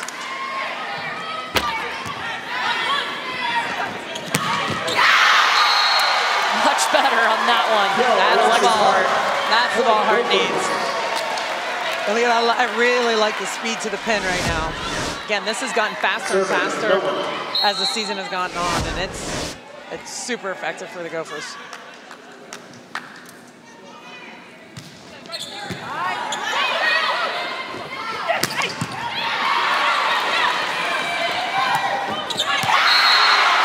CC McGraw That was camping on the line. that entire rally was just fantastic. McGraw with this huge dig right on the money. And you watch Hart, smart, finesse this ball, sharp cross court. Florida calls timeout. Minnesota leading 11 to 7.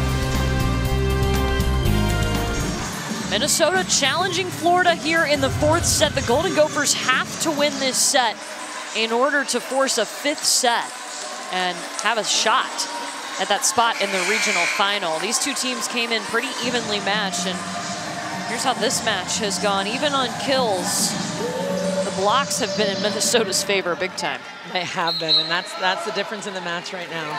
Doing a nice job at the net, but of course Florida with the aces as well. Only two service errors for Minnesota too, and set now 76 serves.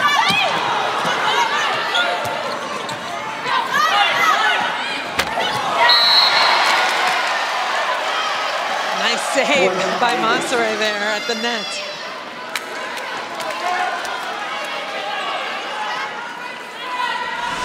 Tight, tight pass. She goes up there. Sets Kramer and just throws it down.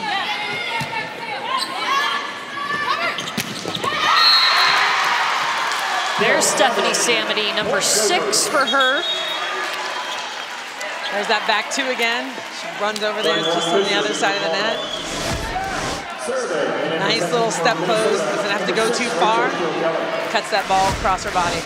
This season has been really interesting for Stephanie Samedy because Minnesota was in and out of the the 6-2, and they did a lot of different things. So for the first time, she was in a situation where, in order to help the team, she needed to play less. That's weird.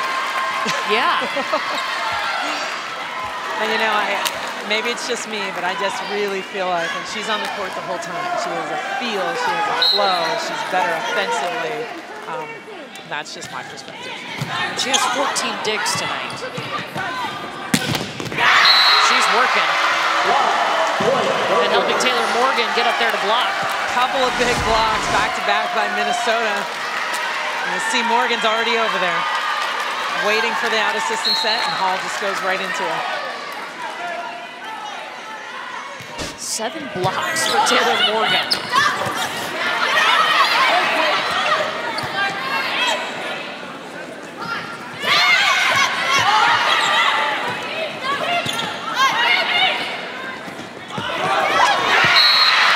They were all too far in. That set was going out.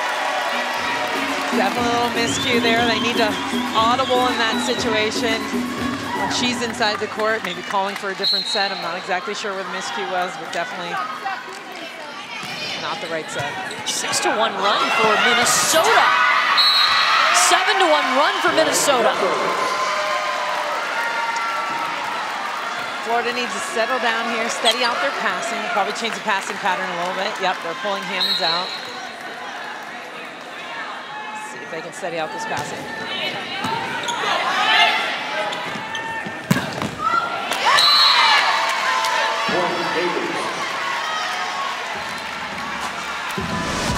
Big swing from Hall off the top of the block.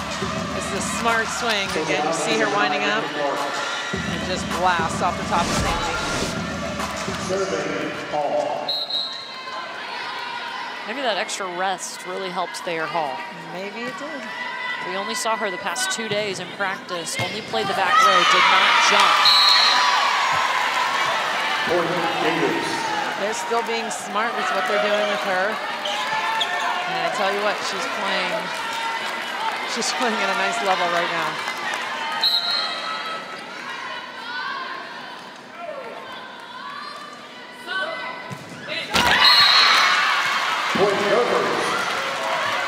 Sixth service error for Florida.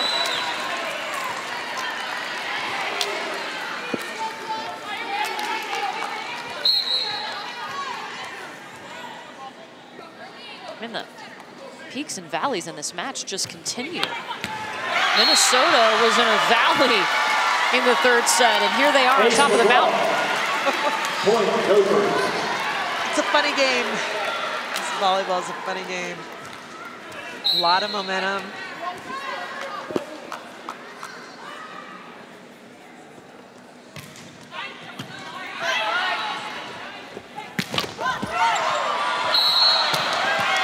Yeah, there should be a lift on Kramer. Double contact is what they call. Timeout. University of Florida. Florida calls timeout as Minnesota up 19 to 10. Neither team can get the consistency going. I really can't. It's either tough serving that's forcing the other team out of system a lot and unable to score, making a ton of errors, or a blocking run by the, uh, the opposing team. Right now, Minnesota's serving tough. Florida unable to find a rhythm right now with their attackers. Well, on Sunday, two of the top teams in the country face off in a rivalry game as number seven Louisville takes on number 10 Kentucky. The Cards have three straight wins over the Wildcats. ESPN's women's college basketball Sunday at 1 p.m. Eastern on ESPN and the ESPN app. Louisville coming in at 9 and 1. They had that win over Oregon, who was number one in the nation. Louisville took them down. Louisville's volleyball team took down the number two seed in the tournament. Things are rocking in Louisville right now. You ain't lying. So who's going to meet Louisville in that regional final? It's looking like right now we're going to go to a fifth set. because Florida's got a lot of work to do if they want to win this fourth set to end the match. You're right. This is a, this is a big deficit. It, it's possible, but it's a tough one to get back from. And right now, Florida hitting hitting a buck 05, and you got Minnesota hitting 400 in this set. Dani Busboom Kelly wants to know who they will face tomorrow, and then it's a really quick prep. They're, they're kind of having that same conversation, looking at the box score, looking at what's going on, and saying, all right, what do you think? Yeah. What do you think? But what the staff is doing right now is they, they kind of designate, okay, you watch Florida, you watch Minnesota, let's scout right now. Take those numbers, and one gets tossed out and one gets used. I've been there.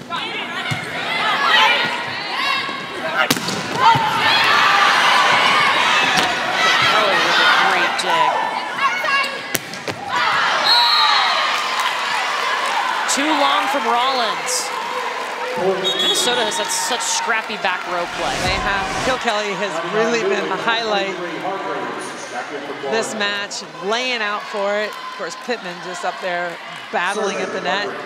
Rollins looking for hands or deep corner, and this is deep.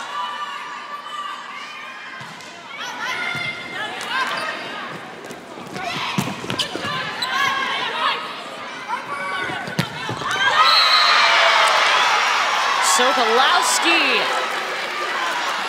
Man, I mean, she has really stepped up. Taking some big swings, starts with the dig by Hall, A nice rhythm play by Monserrat. All seven of Mia Sokolowski's kills have come in the last two sets. See if she can add on another one. Yes! There it is. A little momentum coming the Florida way. Florida's defense stepping up. Riley Fisher, some big digs cross court. Takes a little bit off of that, that swing.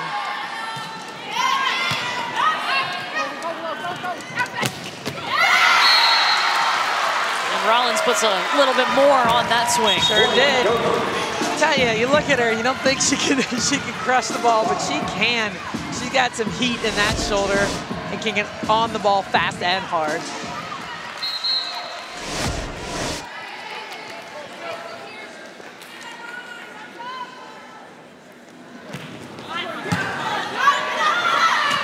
Overpass. Minnesota knew it.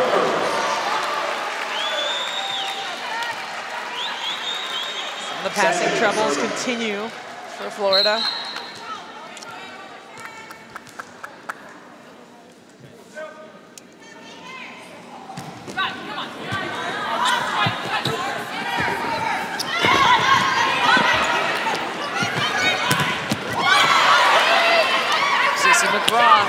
Ready for it off the block.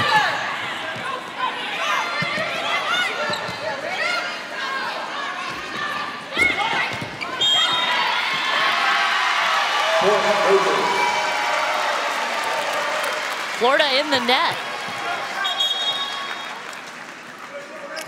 Minnesota has four players in double figure kills now. That's what we're talking about. The balance, the offense. It's, it's really nice to see them move the ball around, spread the love, but it's, it's because of the ball control when they're passing out. They can do that. It hit the antenna, point Minnesota. And Stephanie Samedy is, by the way, is not one of those players in double figure kills, but she has 16 dicks. Right. Well, she's and now she's playing some of those those tips up the sideline instead of the off blocker. So she's kind of crashing in there. They're freeing up the outside hitters a little bit more.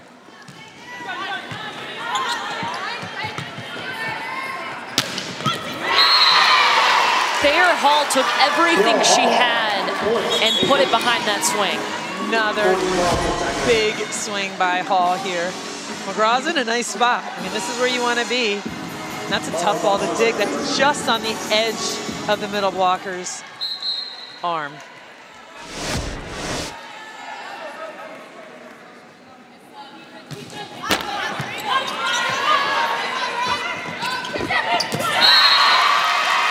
And set point for Minnesota.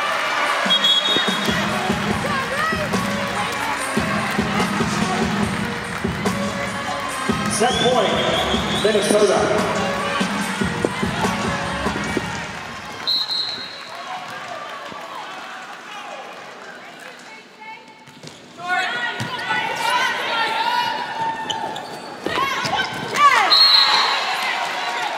Paige Hammons extends it, still set point for Minnesota. Looking to force a fifth set. Paige Hammons serving.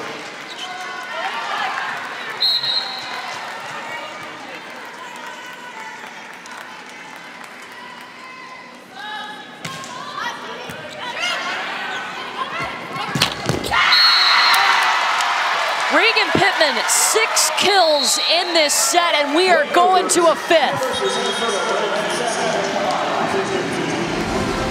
When they need a swing and a kill, they're gonna go to Pittman. She comes through one more time, and we're going to five.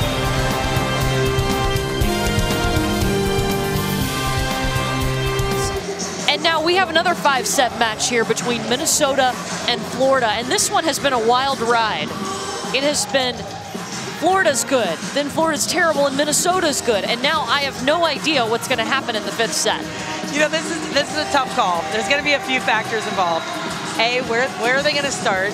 Okay, so who are their hot hitters? Maybe where, what rotation are they going to start in to, to get them going off to a fast start? That's the key to the fifth set, right? You got to come out on fire. The other thing is, who's been here? Who on the court has been here more? What coaches have been here more? Of course, Coach McCutcheon, he has the experience, the international experience. But Mary Wise has been here a lot. She's been in this situation a ton over and over again. So, still hard to say, still hard to figure out, but we'll see who gets the momentum and starts off strong and fast.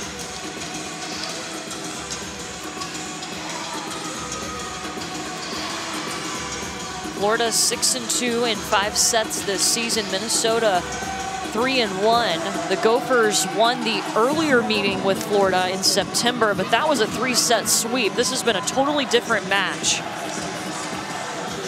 And now it doesn't matter what's happened in the first four sets. It is about who can get to 15 points first. That's it. And it's going to come down to the old cliche who's handling the ball better early so they can run their offense. That's been the key.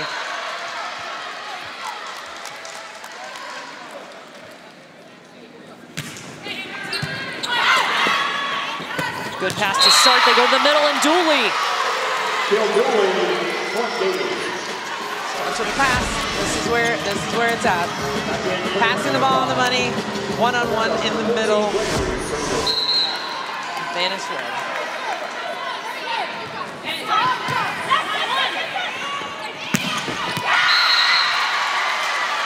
Alexis Hart has been a go-to all night, leading Minnesota with 15 kills. Both teams starting off nice, passing the ball well, able to run their offense.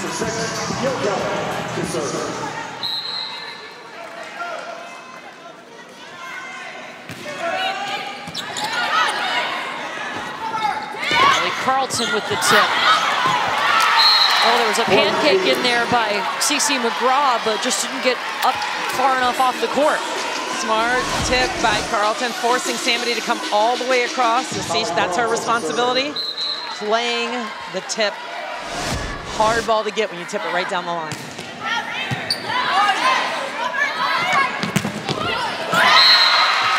I've loved Adanna Rollins tonight. Man, she's just been steady. She's been handling the ball okay, but really finding the court, smart swings, too high or low emotionally, and not playing all over the place, just pretty steady. 12 kills for her, one of four players from Minnesota in double figures.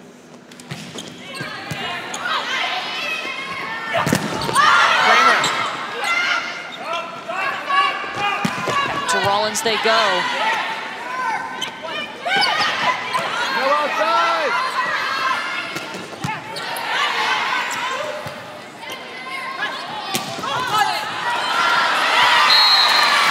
Hall slips it through the defense of Minnesota. nice high line shot. Kylie Miller probably wishes she could get that one back. Kill Kelly's right there waiting for it.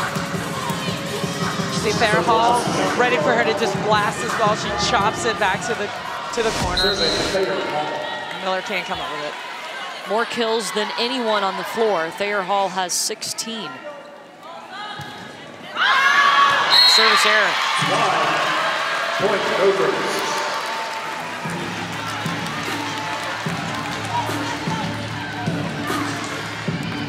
Sammy serving.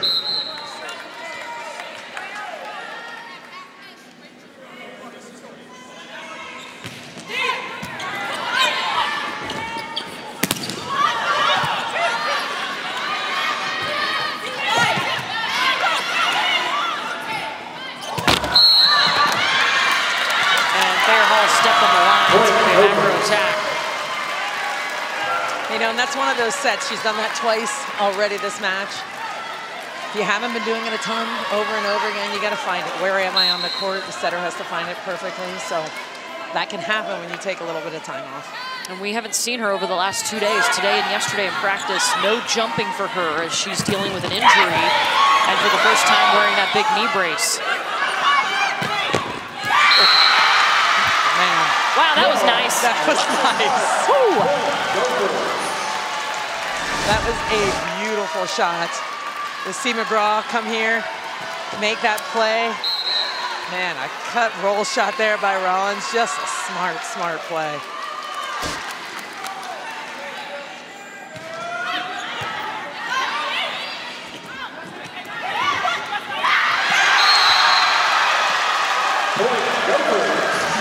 Minnesota has served it 95 times. and They've only had two service errors, and their serve is bothering Florida. It is. It's getting them out of system, forcing them to do some things they don't want to do.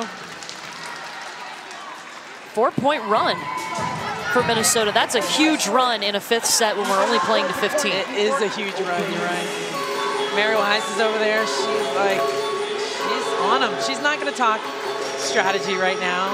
She's talking basics. This is what we do. You know, this is what we've come this far. We've come this far. And we know what we need to do to win. So we have to continue to stick with the game plan. Follow what we're supposed to be doing. Be smart with your swings. You know, it's tough. It's a frustrating moment when you have that kind of a swing in a fifth set like this.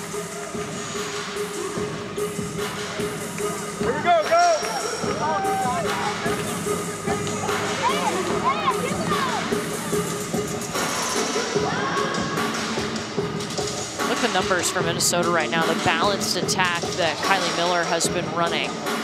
Yeah, it's, it's really going to make it difficult, and that's what's been stressing Florida a lot as well. It's hard to tell who they're going to set, when they're going to set them, um, especially because Miller, even if it's not a perfect pass, she's still able to run her offense pretty, pretty smoothly. So this, what you're seeing on the screen right now, is what's been giving them some fits. Minnesota is looking for its eighth regional final appearance.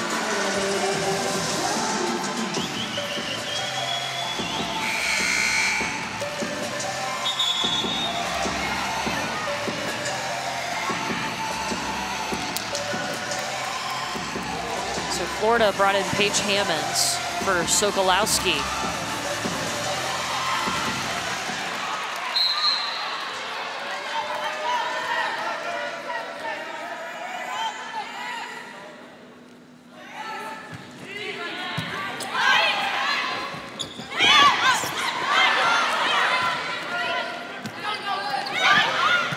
Go outside, back.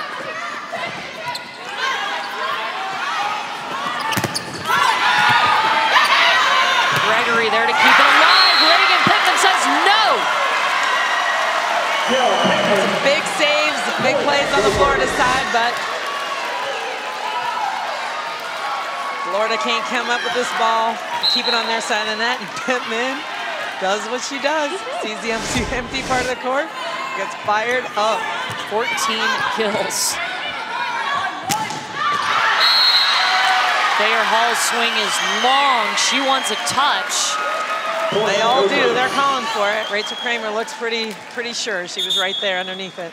So Mary Wise will challenge for the first time. She'll have three challenges remaining.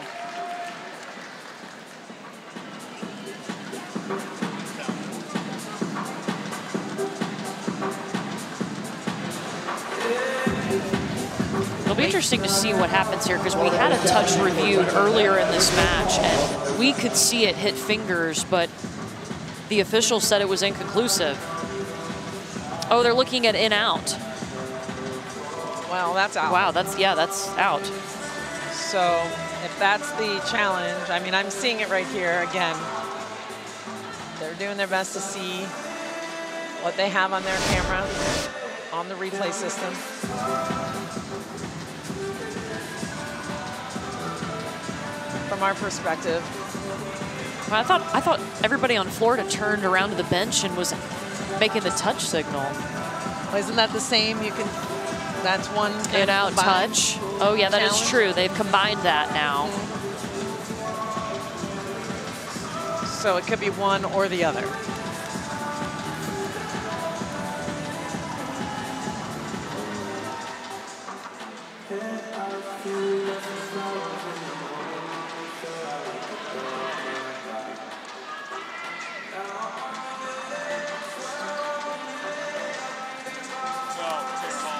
Taking a look at it. See what he comes up with.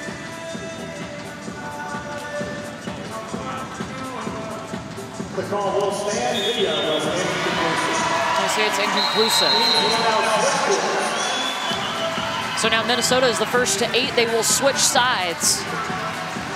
Minnesota's been the one that's come out very steady in the fifth set, hitting 500, no attacking errors. Yeah, that's that's pretty impressive. And it's hard to do. Coming out in the fifth set, you know, when all the pressure is on you, you want to play the clean, cleanest the earliest. I mean, that, that's it. That's what it's all about. Florida hitting zero right now in this set.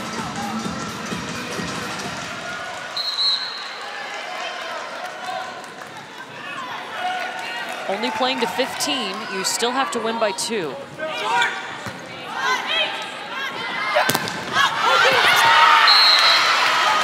Rachael Kramer had a big impact early on in this match and has gone a little quiet. Trying to get them fired up, hasn't had the opportunities to swing at the ball. It's hard when you're in the middle and you're not passing passing well. You, you feel a little bit hopeless. It's like helpless, excuse me. So she's just trying to find ways, firing up her team as much as possible when she gets a swing.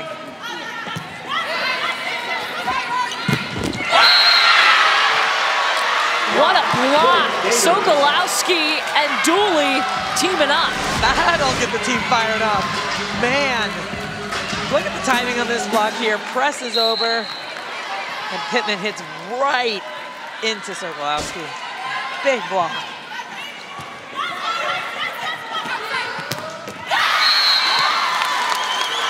Rollins gets the touch call.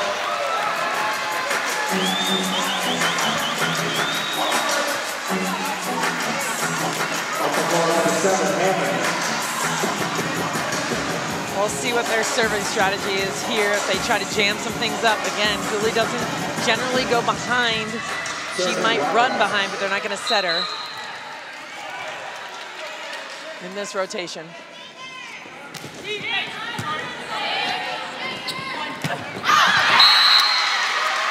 Their whole swing is out.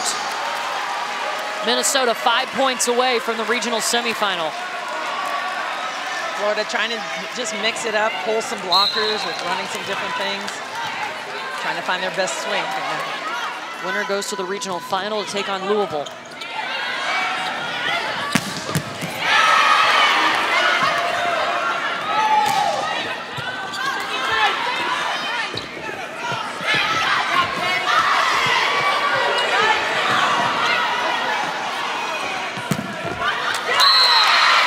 Paige Hammons gets a piece of the Minnesota block. Florida's still battling. Hammons' mixing up her shots, tipping over the top of the block. That doesn't score. Comes back to her.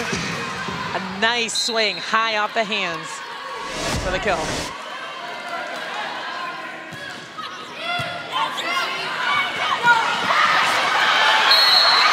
That's an easy decision for Kylie Miller. Nice play by Kylie Miller. She doesn't do it a lot, but she does it at the right times. You see Dooley, they're pushing down, pushing down, waiting, leaving Pittman one-on-one, and then they just leave, leave Miller all alone.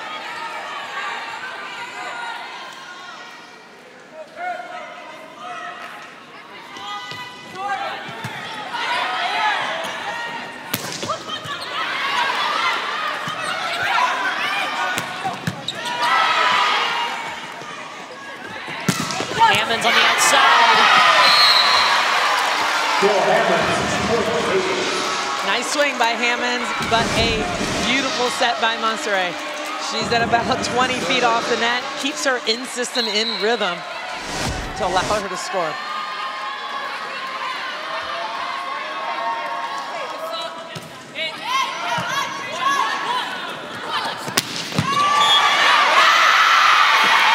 Florida in the net. Man, Minnesota is playing like they remember last season when they lost. They were upset by Oregon in the regional semifinal when they had a shot to basically be at home all the way to the national championship, ah. with the national championship being in Minneapolis. That was a tough loss for them last year, and you know they can taste it. I think you're absolutely right. They know what this means. They understand how that felt last year. They don't want to be in the same situation, and they are they're playing with a ton of energy right now and fire. Florida has challenged. There was, they said that they were in the net, and Mary Wise is challenging that. See if we can see it. Yeah, I think an arm came down. Yeah, it looked like an Dooley. elbow.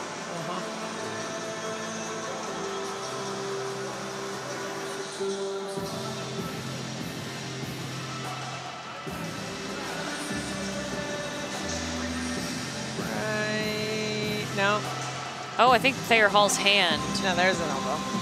And Oh, there's, yeah, there's a lot going on there. it's all up in the net.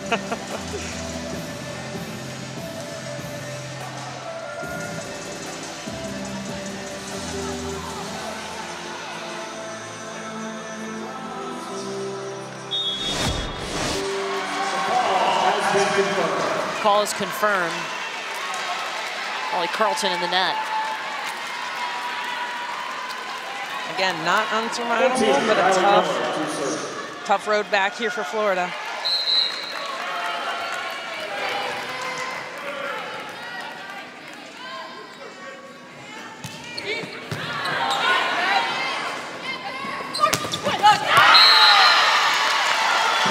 Carlton. Rachael Kramer back in the game. Big swing by Carlton, who has had a fantastic night this evening. Oh, that hurts. That really hurts because now Minnesota just two points away from taking the match.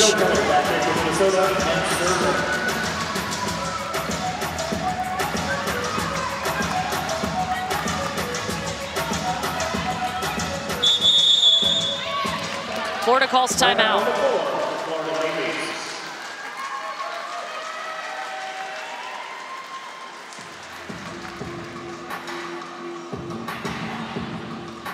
The NCAA Women's Volleyball Championship coverage continues with the national semifinals beginning Thursday, December 19th at 7 p.m. Eastern on ESPN. For more information on the NCAA Women's Volleyball Championship, visit ncaa.com, your home for all 90 NCAA championships. It's been a wild day in the regional semifinals across the country. Texas upset earlier today by Louisville here in Austin. So the home court advantage for Texas not working in their favor. Louisville was not afraid at all. I was very impressed. And now one of these teams, Florida or Minnesota, is going to go have to face that tough-minded Louisville team. True. They, they're going to have to face a team that now believes. I mean, they, they started to believe in that match. That's what Chris Bus Busman Kelly said. I saw my team start to believe that they could win. And now, man, it's hard to beat belief. Yeah. We will have that regional final for you ma match for you tomorrow at 8 Eastern. I've only done 10 sets of volleyball today, Salima. Don't give me that look. or as our director, Matt Wilson, pointed out, nine and a half. That's- because, Yeah. or nine, because the fifth set, you only go to 15. Yeah. Kill count, seven.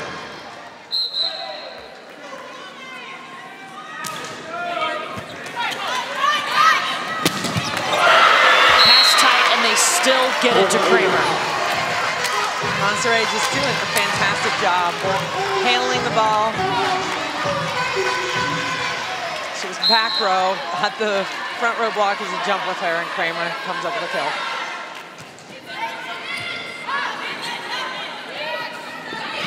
Samedy. Blocked! Watch out. And Thayer Hall is fired up. big walk. Look at the swing walk move.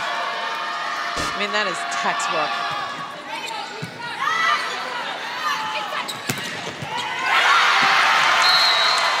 Match point, Minnesota.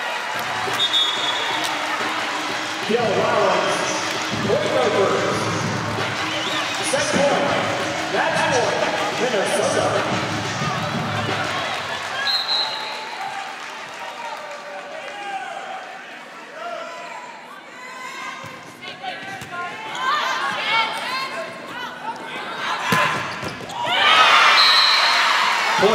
Not done just yet. Still match point for the Gophers.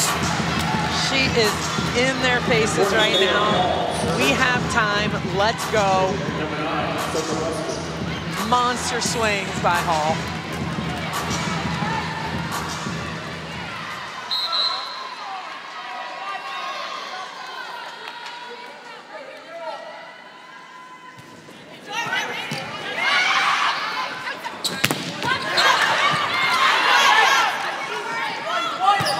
Hall.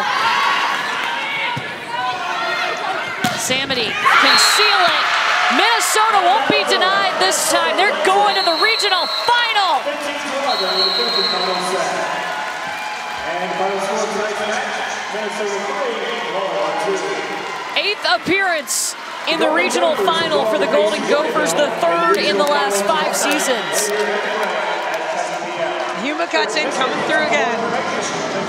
Fantastic job keeping their team in a good place, not freaking out at the end, able to maintain and come out to a fast start in the fifth set. They fought through some peaks and valleys in this match too. They lost the third set 25 to 16. Yeah, that was a tough set for them, but but it's important to see how they're able to come back. This is just like the Creighton match, where they're able to battle back somehow, just stay resilient and leave those sets behind them. I mean, that's huge to be able to do. You don't want to be in that position, but if you're going to be in that position, to be able to come out of it is huge.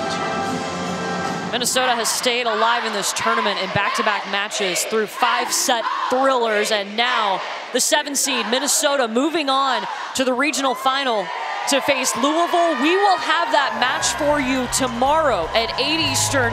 You can see it on ESPNU. It is Minnesota coming out on top. Four different players in double figures for the Golden Gophers, and that's how they get it done past a scrappy Florida team.